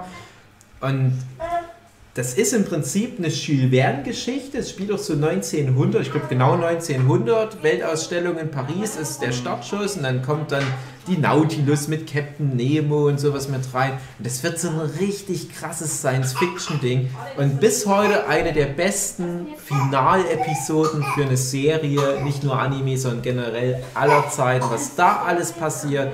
Also da muss jetzt erst noch so ein Game of Thrones oder was rankommen mit seinem Serienfinale. Das war schon richtig heftig. Und das Ding hat nur 39 Folgen. Ein paar davon sind die äh, infamous Insel-Hopping-Filler-Folgen, die viele scheiße finde ich aber echt nicht so schlimm finde. Ja, es ist halt wieder dieses Ding, macht doch mit der Story weiter und hampelt dann nicht auf dieser doofen Insel. Ja, stimmt schon. Also, Nehmt Pilze zu euch und habt Hallos. Also. Ja, ist halt Quatsch, klar, aber ich sag mal, das hat einige interessante Dojinji zutage gefördert. Ja, das auf jeden Fall. ja, also. Und auch eine schöne Figur. Ja, ja also muss ich auch sagen, ähm, gibt es für mich keine Ausrede, warum man das nicht gucken mhm. sollte. Also es ist, glaube ich, ich habe es jetzt schon lange nicht mehr gesehen, vielleicht letzte Mal vor 15 Jahren oder so. Es gab dann nochmal in frühen 2000ern auf Tele 5 einen Anime-Blog, die ganz viel von diesen RTL 2 Sachen wiederholt hatten. Und da habe ich es nochmal angucken können, dachte mir, es hat sich wunderbar gehalten. Und ich behaupte auch, wenn ich es jetzt gucken würde, ein paar Sachen fände ich so ein bisschen fischig, so ein bisschen cringy, würde man heute sagen. Du hast doch so ein paar, na, so gegen Ende wird es ein bisschen pädophil, was so mhm. eine Sache anbelangt. Aber ey, komm, das ist eine andere Zeit. 1900. Ja, aber der Zeichenstil ist halt wunderbar. Ja, und ich finde halt diese ganze Mythologie, die die Serie aufwirft, mit, mit diesen Bibelanleihen, aber ich will nicht zu viel zu verraten, wenn ich jetzt sage, was so dieses zentrale Ding ist, was dann, ich sag, es ist schon relativ früh nach neun Folgen oder so, weiß ich, dann nehme ich schon zu viel vorweg. Mhm. Aber so was halt den Science-Fiction-Teil ausmacht, meine ich damit nur weil du ja am Anfang wirklich nicht so krass damit rechnest. Du hast halt äh, deinen Eiffelturm und so ein Zeppelin und so ein paar verrückte Erfindungen, weil halt einer deiner beiden Helden ein verrückter Erfinder ist, der halt eigentlich Scheiß macht. Also es ist immer noch, ja, es ist immer noch so Steampunk-mäßig geerdet irgendwo, auch wenn es in der Luft teilweise stattfindet. Und dann kommt aber schon dieser Anime-Bullshit, aber halt nicht in diesem Gurren Lagann-Maß, sondern in dem Maß, wo ich sage, ja, das ist sehr gut, weil ich damit gut arbeiten kann. Und jetzt verstehe ich, was da passiert. So ein bisschen Magie ist auch mit dabei. Äh, ist aber halt so eine, so eine schöne, sagen wir auch so Familiengeschichte und, und ein paar richtig tolle Figuren, denen du in erster Linie folgst. Und die funktionieren tatsächlich nach irdischen Regeln, das finde ich immer gut. Also es verwandelt sich auch niemals zwischendurch auf immer irgendwie in, in, in Skelettsaurier oder so. Äh, ja, dann hat man, hatte ich vorhin, genau, hatte ich in einem anderen Teil des Gesprächs, das Mädchen von der Farm mit Katholi, ab meiner äh, Platz 2, glaube ich, war das mal mein hm. Lieblingsanime. Platz 2 bis 4 irgendwo. Habe ich aber auch schon seit über 20 Jahren nicht mehr gesehen. Es werden jetzt schon fast 30 Jahre bald. Also ich will jetzt nicht meine Hand dafür ins Feuer legen. Ich habe mir noch mal die erste Folge noch mal angeguckt vor ein paar Jahren. Und da muss ich sagen, doch, doch. Also mhm. das ist echt auch Ghibli-Niveau. Jetzt nicht so krass durchanimiert, aber die Atmosphäre, die da aufgebaut wird, das ist schon richtig krass für nur so eine Fernsehserie, sage ich jetzt mal. Mm, Mila Superstar hat man ja schon vor bequatscht. Klassiker habe ich nicht geguckt, als es rauskam, später nachgeholt. Hatten, hatten wir Mila. Hm?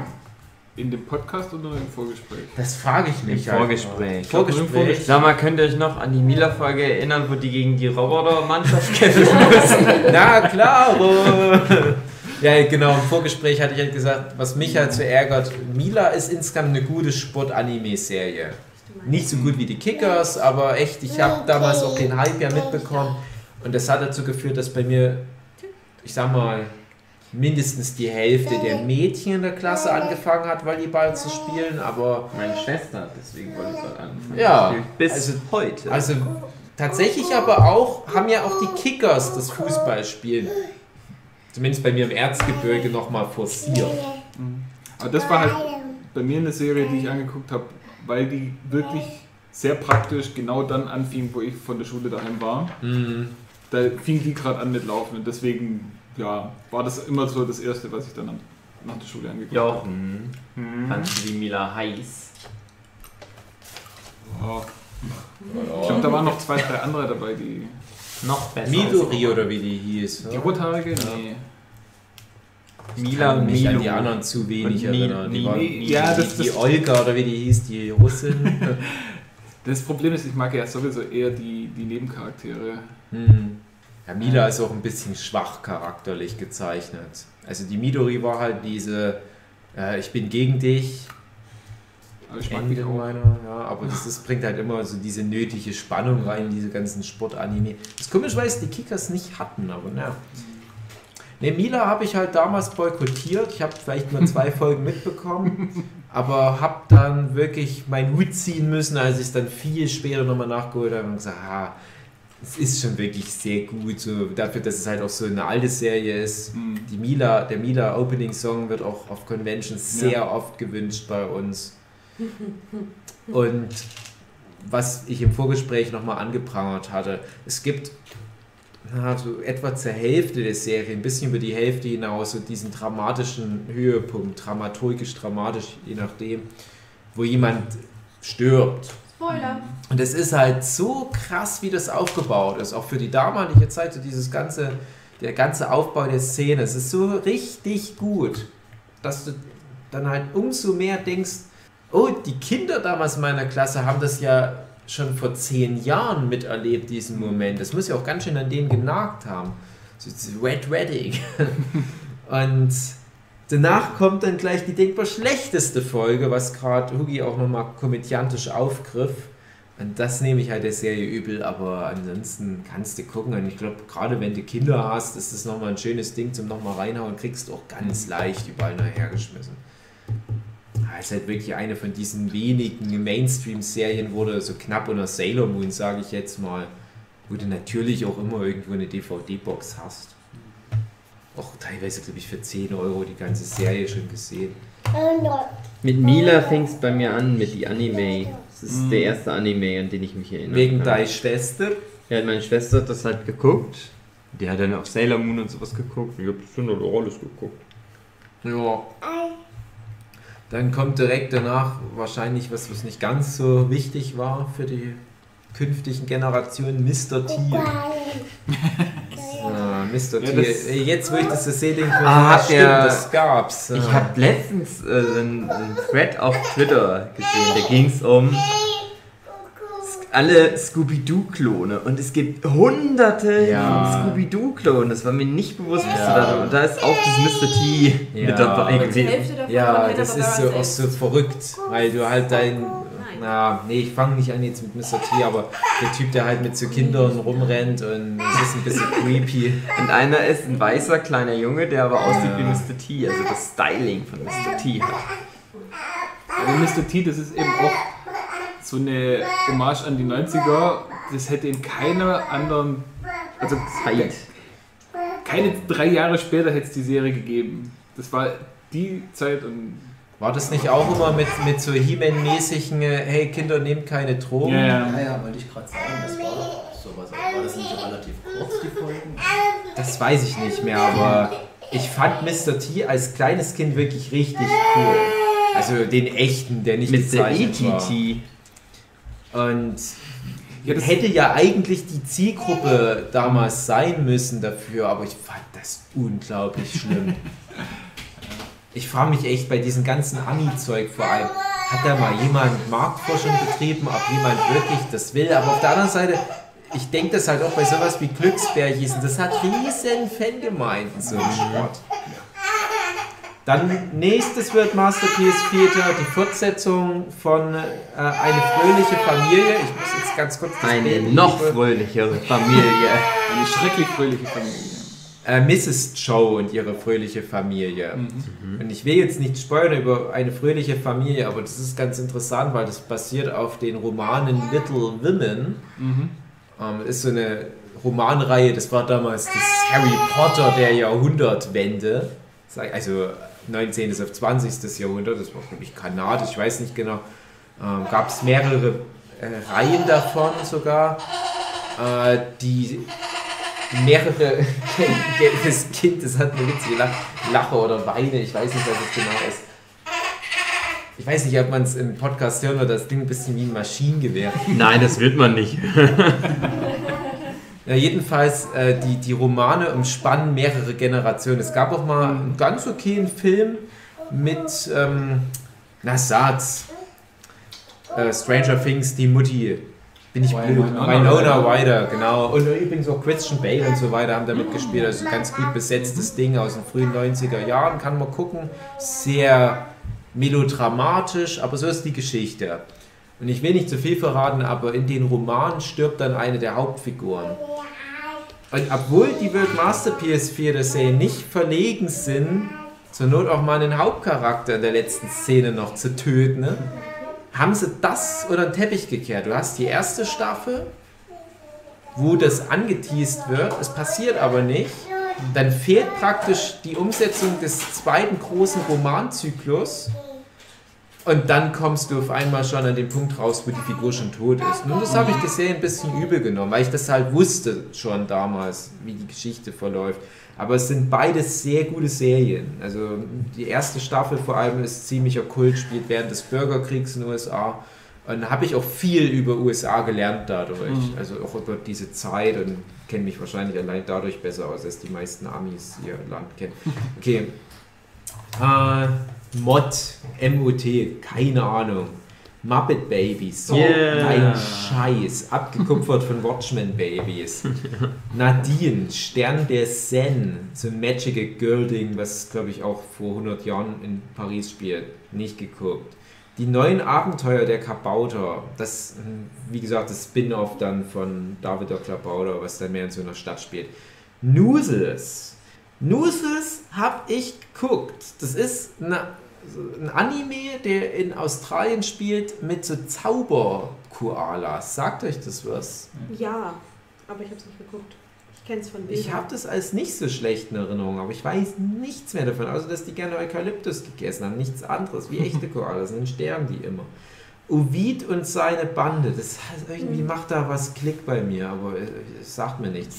Irgendwas, hm, also kein Anime, sonst würde es mir was sagen. Pandamonium? Wahrscheinlich so mit Pandas. Das war cool. Echt?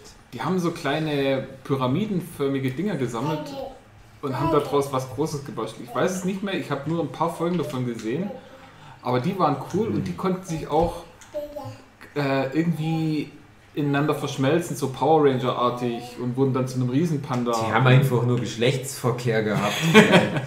Guck mal, Mutti, das sind Power Rangers of YouPorn. ja, das war so das erste Steven Universe. Mhm. so Verschmelzung. haha. Ja, ich hätte jetzt eher an, an, an wie Bear Bears gedacht. Ne? Äh, Naja. Und die hatten einen, so, so einen Bösewicht, wo glaube ich auch nur so eine pinke Kutte ist mit ohne Gesicht. Wie damals alle Bösewichte waren. Sieht aber echt aus ein bisschen wie Anfang. Wie was? Mumra. Also Mumra. Na, Mumra. von Thundercats. Ach so, ach Gott, ja, du kommst ja mit irgendwelchen alten Rotz. Äh, sagen. dann, also angeblich lief auf RTL 2 Peter Pan, der World Master Oh ja. Theater Anime. Oh ja, Mister. Also Peter Pan Oh ist ja. auch in meinen Top 10 der Lieblingsanime aller Zeiten. gern geguckt. Äh, kam aber erst sehr spät dazu. Als das auf RTL damals noch im Samstagvormittag-Programm lief, fand ich das nicht schlecht. Mein Problem war aber, dass du bei einer, ich weiß nicht, über 40 Folgen Anime-Serie nur eine Folge pro Woche hattest. Und irgendwann habe ich es nicht mehr ausgehalten. Ich bin ja irgendwann mal raus. Und dann habe ich das dann später nochmal kompakt auf dem Kinderkanal, aber bin ich der Meinung nachgeholt, in frühen 2000 nochmal das erste Mal alle Folgen gesehen. Und das ist wirklich, das ist so dieses Schloss im Himmel Ghibli-Ding. Mhm. Also ich weiß nicht, ob es hier, also mindestens drei haben es gesehen in unserer Runde. Philipp Jochen, habt ihr mal reingeguckt irgendwie? Laputa? Ja. Ja. Nee, äh, Peter Pan, der, der Ja. World Masterpiece Peter Anime. das habe ich, das hab ich auch sehr gemocht. Ich hatte einen ganz tollen Kleinkind-Crush auf den Peter. Ja, Und fand die Tinkerbell halt viel besser als die Blöde von Disney. War für mich damals auch so das erste Mal, dass ich so eine überzeichnete Nase da bei so einem. Anime-Helden gesehen habe. Ja. Was ich mittlerweile ganz cool finde. Damals fand ich es immer komisch. Das hat mich auch, so was ich jetzt noch total geprägt. An, Ja. Das ist so was, was ich lange mit mir jetzt noch rumtrage. Auch so ein Beispiel, wie unendlich viel besser ich diese Peter Pan-Adaption finde im Verhältnis zu dem Disney-Film. Mhm. Und das ist halt auch ein geiler Story-Arc und ein kleiner Spoiler, du hast zwei große Story-Arcs und du hast wirklich so eine Conclusion für diesen ganzen Captain Hook-Kram, und der so richtig geil episch ist. Ich sag nur Stichwort der, der Regenriese oder wie das Ding hieß. Das ist so geil, wo du dann einfach mal zur Hälfte der, der Serie spitzt sich alles so zu. Und es ist, auch, es ist auch so eine mythologische Welt, die die geschaffen haben, die halt nicht so ähm, na, Zauberer von Oz oder Alice im Wunderland mäßig so random ist, sondern wo es auch wie bei Game of Thrones gewisse Regeln gibt, verschiedene Gruppierungen, zum Beispiel der, der Stamm der Indianer von der Tiger Lily und so weiter. Und halt die Piraten, die halt aber alle auch genügend Screentime bekommen. Und, und dann kommt aber so dieser ganze mythologische Überbau, der sich halt auch durch diesen Nebelriesen oder Regenriesen dann nochmal so richtig krass manifestiert zur Hälfte der Staffel. Und dann hast du wie so einen Cut und dann beginnt eine neue Geschichte. Und das hatte ich halt als Kind nie gesehen. Und da war ich so richtig überrascht. Da dachte ich, hä, es gab da nochmal so viele Folgen, wo nochmal so viel Zeug passiert. Gibt es auch so eine schöne Folge, wo die mal auf einem, auf einem Seefest sitzen. Ne? Und dann ist so ein riesiges Seeungeheuer und die können sich nicht bewegen, weil das Seeungeheuer die sofort fressen würde. Das ist eins zu eins der Calm-Welt bei One Piece. Also richtig gutes Ding. Gibt es leider auch nicht auf DVD, so viel ich weiß. Es gab mal in frühen 2000ern mal so immer zwei Folgen auf einer DVD und dann hat dann ja aber jede DVD 30 Euro gekostet. Nee, nicht mit mir. Aber das ist auch so eine Serie, die muss unbedingt nochmal rauskommen, weil es eine ganz große Schweinerei wäre, aufgrund so der, der Tragkraft dieser Serie, was die halt noch an Power hat. Und die ist halt, finde ich, immer noch gut anguckbar. Und gerade für die Kids, die halt sagen, ja, ich will hier nicht hier fröhliche Familie angucken, wo die, die deutschen Einwanderer-Babys an Typhus sterben. Das ist nicht so meins. Aber das ist halt auch so dieses angenehme Maß an Over-the-Top-Anime-Zeugs, was äh, wird Masterpiece 4 das sonst gar nicht gemacht hat. Naja, richtig gut, richtig, richtig, richtig, richtig scheiße gut auf alle Fälle. Dann Popeye, pff, komm, am Arsch vorbei. Nochmal Popeye, dann Sohn und Popeye, Sohn und Kuh. Hm. Prinz Arthurs, hm, Mhm. weiß nicht, ist, das, ist das ein Anime? Ich weiß nicht. Oder ist das Prinz Artus die Ritter der Schwafelrunde? Ist das eine Serie insgesamt oder sind das zwei verschiedene? Ja. Ritter der Schwafelrunde Der hier, sagt mir ist so das hier. Achso, ja, ja, genau. Ja, das sagt mir nicht was, der Anime von Prin Prinz Artus war. Ich dachte, das war so ein Tele 5-Ding. Okay. Anscheinend haben die viel von Tele 5 nachgebracht.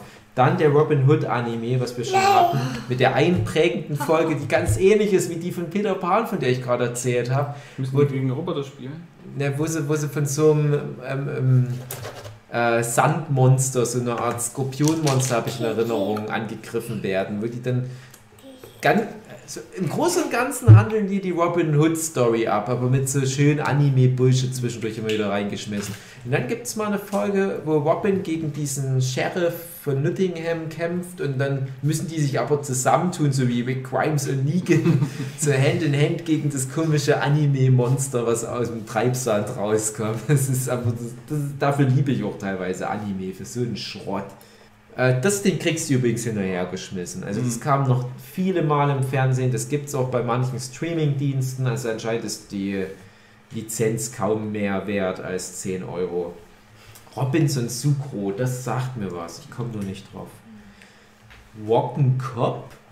Das ist ein richtig geiler Anime. Das sagt mir irgendwie was. Das ist- Quasi, wo wir zum ersten Mal Privatfernsehen bekommen haben, war das auch einer der ersten Anime, die ich Mhm. dann tatsächlich auf RTL 2 gesehen habe. Geht darum, ein Typ aus den, auch das müssten dann 80er Jahren gewesen sein, fährt mit seiner Ente der Polizei davon, weil er irgendwie abhauen will und fliegt dort dann durch einen Zeittunnel und landet in Zukunft, 2030 oder so irgendwie was. Und schließt sich dort dann der Polizei an. Und Ah. die, die haben dort dann, äh, also lässt seinen komischen Käfer umbauen, der dann ganz tolle Sachen Eine macht. Ente oder ein Käfer, Jochen, jetzt verstrick dich mal nicht hier. Das ist kein Avengers Endgame. Das, ich meine Käfer. Ah, also auf okay, jeden ja. Fall ein VW-Käfer. Ja. Ähm, ja, und die haben irgendwie, also die Polizei fährt mit einem riesigen Gerät durch die Gegend, was dann ihr Polizeihauptquartier ist, aber eben sich bewegen kann. Und die haben so Spezialanzüge, die sie anziehen können, wo sie dann noch krasser sind. Und da ist vor allem in der deutschen Fassung, haben die dann auch alles so richtig auf 80er Jahre gemacht. 80er Jahre Musik, 80er Jahre Neon-Effekte, alles Mögliche. Und der Original-Anime, den ich nämlich dann auch habe, gekauft, richtig. importiert, ähm, der ist in der original japanischen Fassung und da klingt alles noch so nach 70er Jahren und ganz furchtbar. Ähm, deswegen habe ich das dann auch aufgegeben, mir nochmal anzugucken. Und es gibt auf YouTube einen Deutschen, der die deutsche Fassung irgendwie remastert und nochmal bereitstellt. Aber das, ganz kurz, das finde ich so krass, wie, wo wir bei dem Thema sind, dass es so noch diese Fangroups gibt, für die das Mhm. halt so wichtig ist, dass die so eine Mühe in so ein Ding reinstecken, wo ich, wie gesagt, mal davon gehört habe, aber Ja, weil es den einfach nirgendwo mehr gibt. ja, eben, ja. Ein, also auf Japanisch heißt es Urashiman, weil das irgendwie auch noch. Der hat dann auch noch irgendwelche Superkräfte, weil er eben durch die Zeit gereist ist oder durch die Zeit reisen kann Mhm. überhaupt, weil er so ein krasser Typ ist. Und dann gibt es natürlich noch den großen Bösen, oder die böse Vereinigung, die versucht, äh, sich den Urashiman zu schnappen und äh, deren Plan ist quasi jede Folge ihn dazu zu bringen, zum Urashiman zu werden weil sie sich da davon was weiß ich versprechen. Ich habe, wie gesagt, ähm, ich habe damals auch leider die Serie nie komplett angeguckt. Das war dann irgendwie, äh, war ein Staffelfinale und da ist er dann kurz davor auszurasten. Und dann hört die äh, Staffel aus und ich weiß dann noch nicht mal, ob die nächste Staffel überhaupt dann noch gelaufen ist, aber ich, ab da, oder bis dahin habe ich es dann nicht mehr weitergeguckt. Habe jetzt, wie gesagt, äh, die Staffelbox aus Japan importiert und aber weil das halt so eine furchtbare Musik ist und alles ganz schlimm, konnte ich das nicht weitergucken. Und jetzt hoffe ich eben, dass der Typi äh, das Ja. nach und nach übersetzt. Jetzt hat er aber jetzt schon ein Jahr lang wieder nichts rausgebracht, deswegen wird das alles ganz schwierig. Aber das ist so eine, eine für mich in der Jugend auch prägende Serie, wo ich gemerkt habe, so, ja, so cool kann Anime sein. Ja, na klar. Also, wie gesagt, ich habe es bestimmt mal irgendwo gehört, aber es müsste dann genau in dieser Phase, wo ich halt raus war, gelaufen sein. Da gibt es übrigens auch eine äh, junge Dame mit blauen Haaren, wo für mich wahrscheinlich so ein bisschen der Trigger war, dass Ja. ich junge blonde, äh, junge blauhaarige Damen. Ah ja, das ist. müsste man alleine deswegen schon mal. Also ich finde, dafür hat es jetzt auch eine kulturelle Relevanz, dass es Ja, vielleicht ja. sogar mit, mit äh, Gebührengeldern nochmal finanziert werden sollte, diese zweite Staffel oder was auch immer. Die sieht so aus wie so ein bisschen wie eine ein bisschen ältere Bulma am Anfang von Mhm. Dragon Ball. Ah, cool. Ach Mann, das ist dann so schade, weil es ist. Ich weiß halt genau, wenn du jetzt so davon erzählst, das klingt ja auch alles cool, aber du wirst da nicht rankommen. Also wie gesagt, ich habe die, die japanischen Staffelboxen, aber Aber Japanisch ist bei mir immer so ein bisschen äh, holprig. das, das kann man sich echt nicht anhören. Ja, klingt cool. Ja, also das, da frage ich mich dann auch manchmal, ist das wirklich so teuer, das noch zu lizenzieren? Ich kenne ja mittlerweile ein paar Leute, weil ich ja auch mal für so einen Laden gearbeitet habe, die sich mit Anime-Lizenzierung auskennen. Es ist nicht so teuer. ja. Also man kann sowas auch privat machen und ich kenne Leute, die machen das privat tatsächlich. Und die bringen dann kleine, na, ich sag mal so 1000, Tausender Auflagen oder so raus.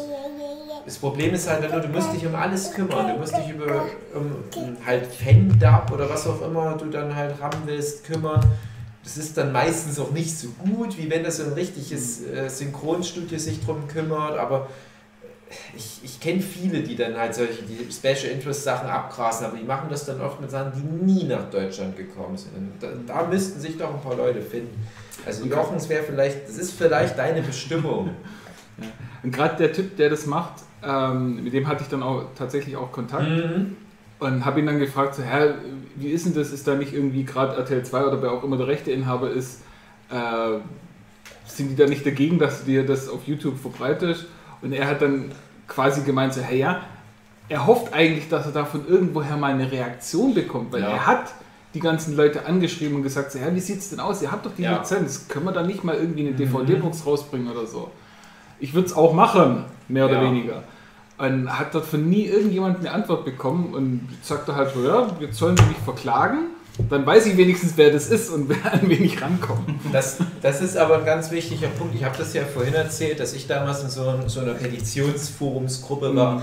wo wir halt ständig dann für, ja, letztendlich hat sich dann KSM-Anime zum Beispiel drum gekümmert, das rauszubringen, wo wir halt auch immer so in, im, im Groben gefischt haben, weil drüben, weil wir nicht wussten, wer ist gerade der Lizenzinhaber in Deutschland. Und ich kann schon mal so wie sagen, wenn das so lange her ist, hat RTL 2 da keine Rechte mehr dran. Die kaufen das meistens für eine Ausstrahlung oder vielleicht auch mal so für so einen drei Jahres Zeitraum.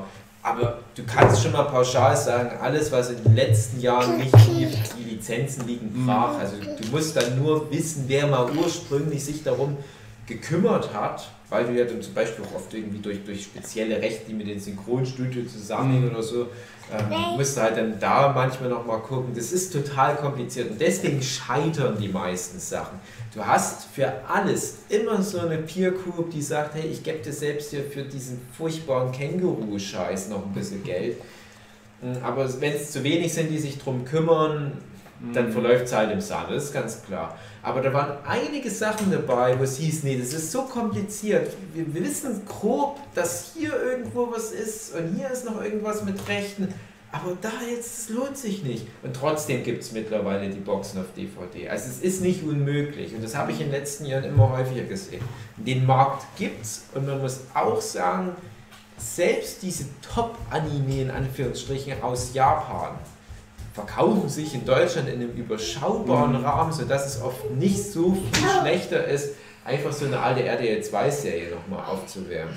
Mhm. Naja, dann weiter geht's mit, äh, ich, ich finde es gerade nicht in meiner Liste, aber es muss äh, vom Alphabet her dann Rock'n'Roll Kids kommen. Mhm. Rock'n'Roll Kids war eine der allerersten Serien, die ich damals da geschaut habe. Äh, fand ich auch schön, spielt in äh, Tokio. Es ist so ein Junge, ein kleiner Junge, der ist der Bruder von einer älteren Schwester, die wiederum wie so eine Affäre oder, oder halt auch zumindest eine Liebelei anfängt mit einem äh, J-Pop-Sänger aus einer populären Band. Und der kleine Junge ist dann sozusagen die Figur, mit der du dann halt dieses Universum kennenlernst. Und der hat eine dicke Katze, die so eine Art Garfield ist. Und das, das hat sich bei mir sehr eingeprägt. So ein bisschen Slice of Life mehr und das war, glaube ich, das erste Mal, dass ich so nackte Brüste in einem Trickfilm gesehen habe, aber ohne Nippel, Leute. Mhm. Der ist dann immer in so einem Okonomiyaki-Restaurant. Das hat sich bei mir noch so eingebrannt. Weil der Papa von irgendjemand ist dann dort der Koch. Ich weiß es nicht mehr genau. Aber es ist auch ein Klassiker. Hat auch noch relativ viele Fans. Bei Rock'n'Cop ist auch eine dicke Katze dabei. Ja. Ja, muss, muss eigentlich. Ah ja. Ja, ja, na, das sagt mir halt doch was. Also Jochen zeigt mir gerade noch mal einen Screenshot, das ist irgendwie so... Das ist auch noch der Typ ganz grob. Ja, der Typ links ist der Held. Ne? Und dann, dann sagt's mir was. Der, der sieht doch aus wie Vegeta. Ja. Ja. Aber ich bin mir nicht sicher, ob ich das jemals gesehen habe. Gesehen bestimmt nicht, aber na, man hat sich ja trotzdem irgendwie informiert, was gerade so alles kommt. Ähm, die äh, Gott, Root Dog, hm. SOS Kroko, hm. dann, na gut, müssen wir jetzt nicht allzu viel drüber reden, das Saber White und die Star Share. Das ist für mich so ein hm. Tele 5 Ding. Kam man anscheinend dann auch nochmal dort. Das ist, das ist so vielleicht mein, mein erstes, was ich damals so gesehen habe, wo wir Fernsehen hatten. Saber Rider.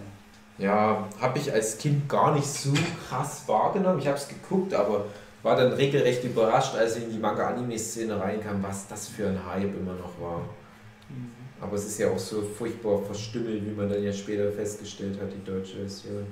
Sailor Moon habe ich schon mal gehört. Was?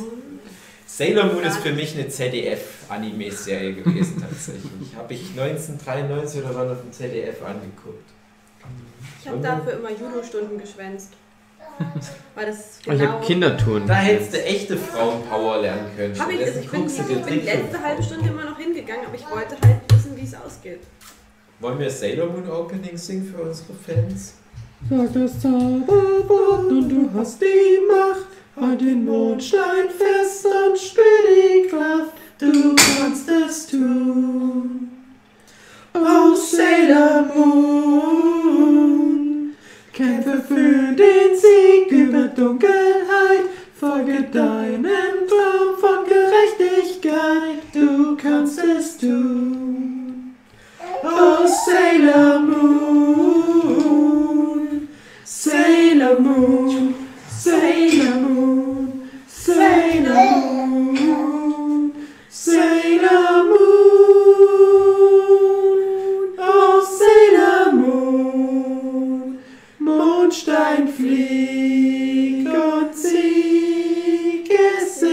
ist soweit, oh Sailor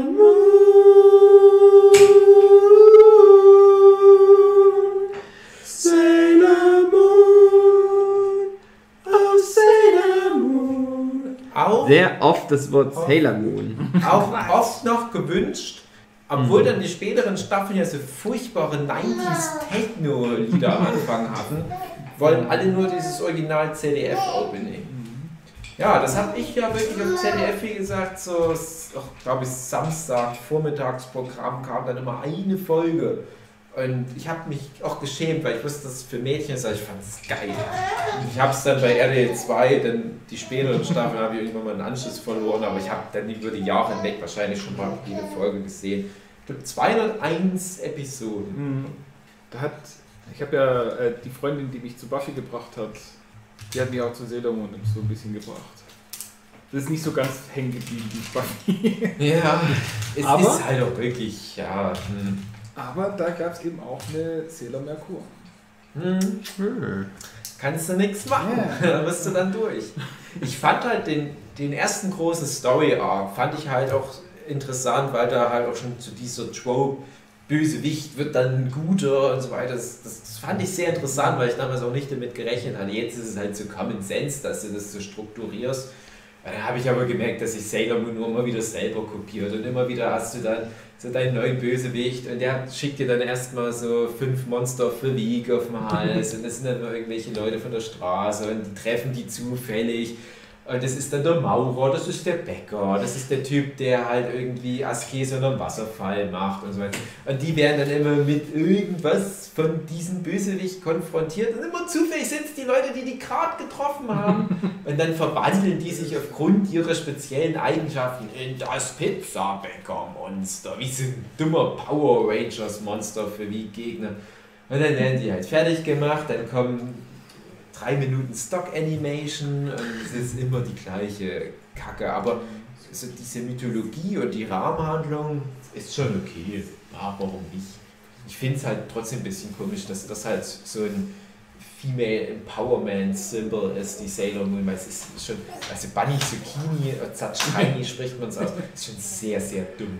Ja, also, sehr, sehr, sehr dumm. Wenn alles das, was die stark macht, neben ihrem Mut und ihrer Freundlichkeit, ist Zauberei.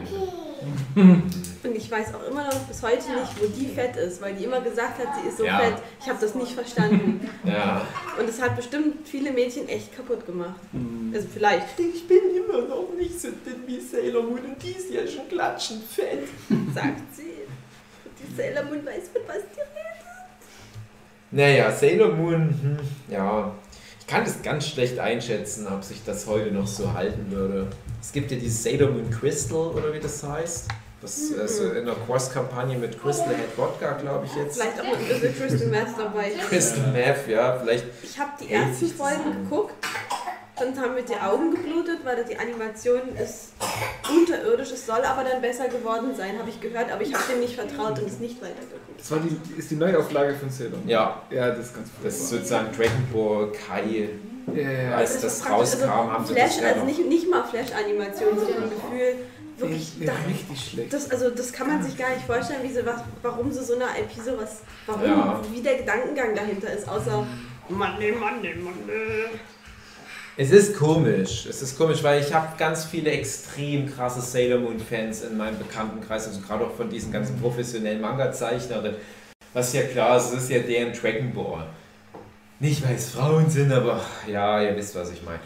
Und die waren alle, glaube ich, ganz enttäuscht von Sailor Moon Crystal. Mhm. Alle, die ich kenne, waren davon ist, wenn die Neuauflage quasi schlechter ist als das Original, dann, äh, Achso. Ja, dann ist echt schwierig. ja, ne, ich mag aber auch so diesen 80er Jahre Ja. Charme von den Animationen. Bis- Ich denke dann halt immer, ja, die neuere Generation kann vielleicht dann wirklich nicht mehr so ran. Na, Ja, und 16 zu 9 ist dann auch schön. ja, aber, klar. Puh, das war echt anstrengend. Dann als nächstes kommt tatsächlich mein Lieblingsanime, äh, Amino of all time. Hugi weiß es. Mhm. Äh, das mit dem Schiff und dem Jungen. Und Genau, so. die Junge und Junge die mit Schiff. Die Junge und die Schiff, die Junge und die Schiff. Ja, die Schatzinsel. Ja, sag ich doch. Von 1978. Großartig. Habe ich auch gesehen. Davon hatte ich Albträume. Das müsste dann aber auch so langsam, Schwarze findest du dann, Philipp, äh, ich kenne es, aber ich habe es mir Wie nicht. das aussah, wie das gezeichnet hat, wie das animiert Ja. das schwarze Abzeichen, was er ganz am Anfang kriegt, immer Ja. noch Ich Trauma. kann mich an das Opening Ich war viel zu klein, als ich das geguckt habe. Was waren die Matrosen?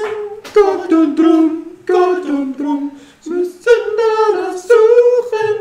Fragt sie nicht warum. So, wir kannten jetzt, wir können nicht alle Openings sehen, aber eins der schönsten Openings aller Zeiten. Und das, da ist dann immer meine Mutti ins Zimmer gekommen, wenn das lief und hat sich das angehört. Und Boah, die Scheiße aus oder das klatscht. Die hatte dann wirklich fast ein bisschen Tränchen im Auge. Und wo ich das dann mal nach vielen, vielen Jahren, habe ich mir dann mal für einen Apple und ein Ei die Komplettbox geholt. Die gab es für lächerliche 10 Euro zuweilen.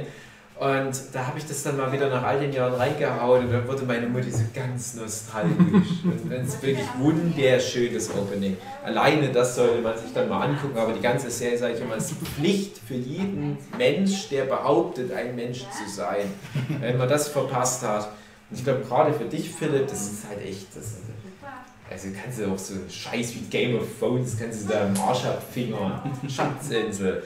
Und hat auch einen echt krassen Bodycount für gerade mal 26 Folgen. Das war dann so die, die erste Trickfilmserie, wo ich dachte, oh krass, Alter, also was geht denn jetzt ab? Das ist doch nicht wahr. Oh nein, echt? Was macht denn ihr mit den Figuren? Das ist ja übel.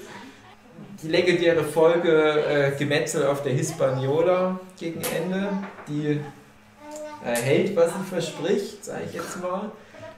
Und ich glaube nicht, dass da mal bei RTL 2 da mal jemand drüber geguckt hat. Also erst recht nicht die Leute, die gesagt haben, lass uns mal so einen Hund, so, so, so, so einen ja, Stoffpuppenhund unser Programm moderieren, dann packen wir da noch ein bisschen Shoothound drum und ja, irgendwas mit Basketball spielenden Kängurus.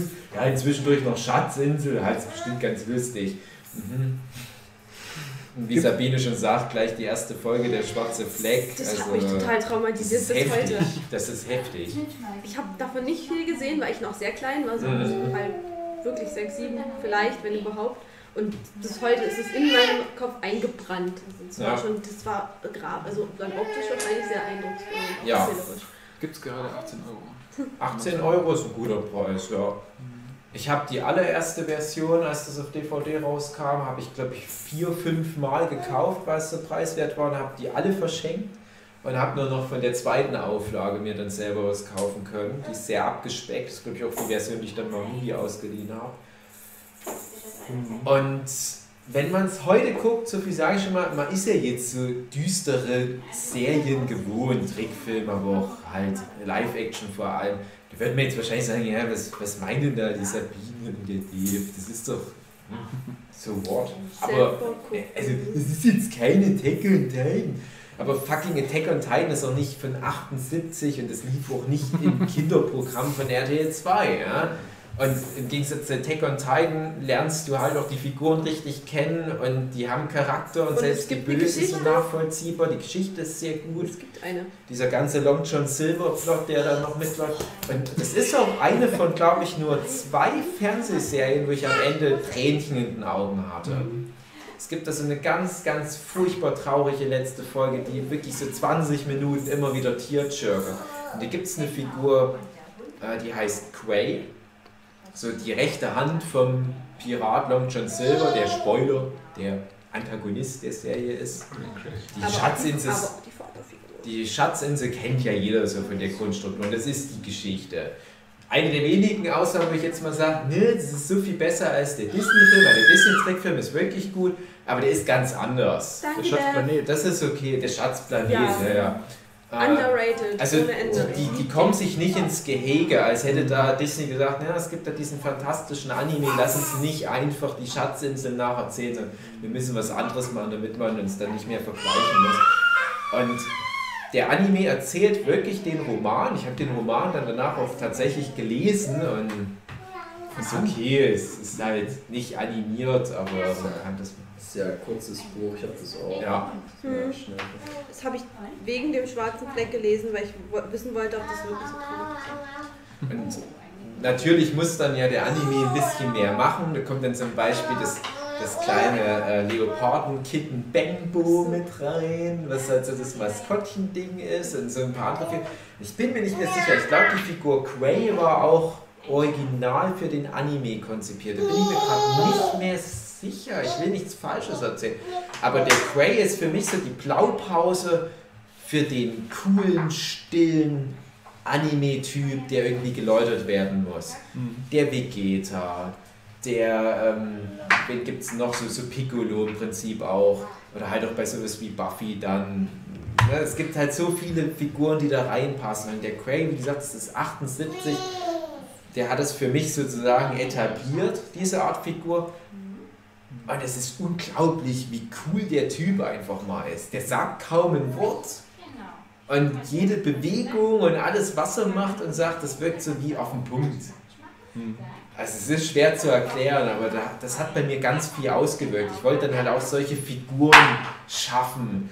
Und dann hast du halt auf der anderen Seite so einen Long John Silver, der halt äh, so ein furchtbar charismatischer, empathischer Typ ist, dass du den einfach nicht böse sein kannst für das, was er da Böses macht in der Serie. Äh, Disney hätte da so einen, so einen säbelrasselnden Pirat draus gemacht. Und bei dem hast du halt das Gefühl, das ist so ganz tragisch, was mit dem los ist. Aber Haben der ist auch zu aber dem nicht. geschrieben. Genau, haben sie Ha, aber haben nicht. sie aber nicht. Disney hat da keinen säbelrasselnden. Nein, nee, Das nee, nee, ich meine ja nicht den. Schatzplanet. Ich meine ja nicht den Schatzplanet. Ich meine halt nur so, wie, wie Disney-Bösewichte zu der damaligen Zeit funktionieren. So, so ein Scar, das war so die Zeit, wo ich halt den König der Löwen auch das erste Mal gesehen habe, was ich ja auch oft genug schon erzählt habe. Da wo ich dann denke, ach, nein, das ist doch, ihr wollt mir doch nicht erzählen, dass es da noch irgendwo Potenzial für eine moralische Läuterung gäbe oder was auch immer. Der Long John Silver ist so eine Figur, wo du denkst, ist der wirklich böse? Kann, kann man nicht mit dem einfach mal quatschen? Oder wie, wie ist denn das? Hm, So ein bisschen übrigens hatte ich auch, auch die Vibes, das ist jetzt ein anderes Thema, aber bei, bei Battle der Alita, jetzt bei dem Baron, der, wo ich dann auch mal manchmal dachte, na, könnte das so eine Art Long John Silver Figur jetzt werden, aber wahrscheinlich dann eher nicht. Das hat dann aber auch Battle Age der Alita relativ schnell klar gemacht. Ähm, ja, guckt euch an, also keine Ausrede gibt es nicht. Muss man halt ge- gesehen haben. Egal, ob es alter Scheiß ist. Wenn keine Mechas vorkommen. Na, ich will nicht zu viel verraten.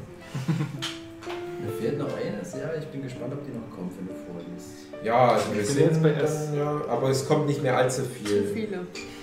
Wollen wir mal kurz Ja. eine Pause machen und einen Zweiteiler von dem ganzen Bums Auf alle machen? Fälle. Also das ist das Wir haben nämlich schon über anderthalb Stunden Ja. und du kannst dir merken, wo du warst. Ist ja ein schöner Abschluss mit Ja, deiner Lieblingsserie der Welt. Ja. Hört mal Ja. auf. Dann hast du doch nie wieder einen zweiten Teil. Nein. Gut, dann meine sehr verehrten Zuhörenden, schönen Tag noch. Bis nächste Woche. Dann geht's weiter mit Dave lest die Liste vor und ab und zu schwelgen wir dann in Erinnerung, wenn wir mal was davon gesehen haben. Wir haben gar nichts zu Doremi gesagt. Hast du was zu Doremi Ich hab zu gesagt, ach ja, dann Ach ja, nee. Minderjährige Kinder werden blutig im Rosenwald gestochen. Ja, dann machen wir halt noch Doremi, klar. Nächstes Mal. So, Damit- Gott sei Dank gibt es dich. so. Ja. Bis nächste Woche. Bis dann. Ciao. Tschüss. Mhm.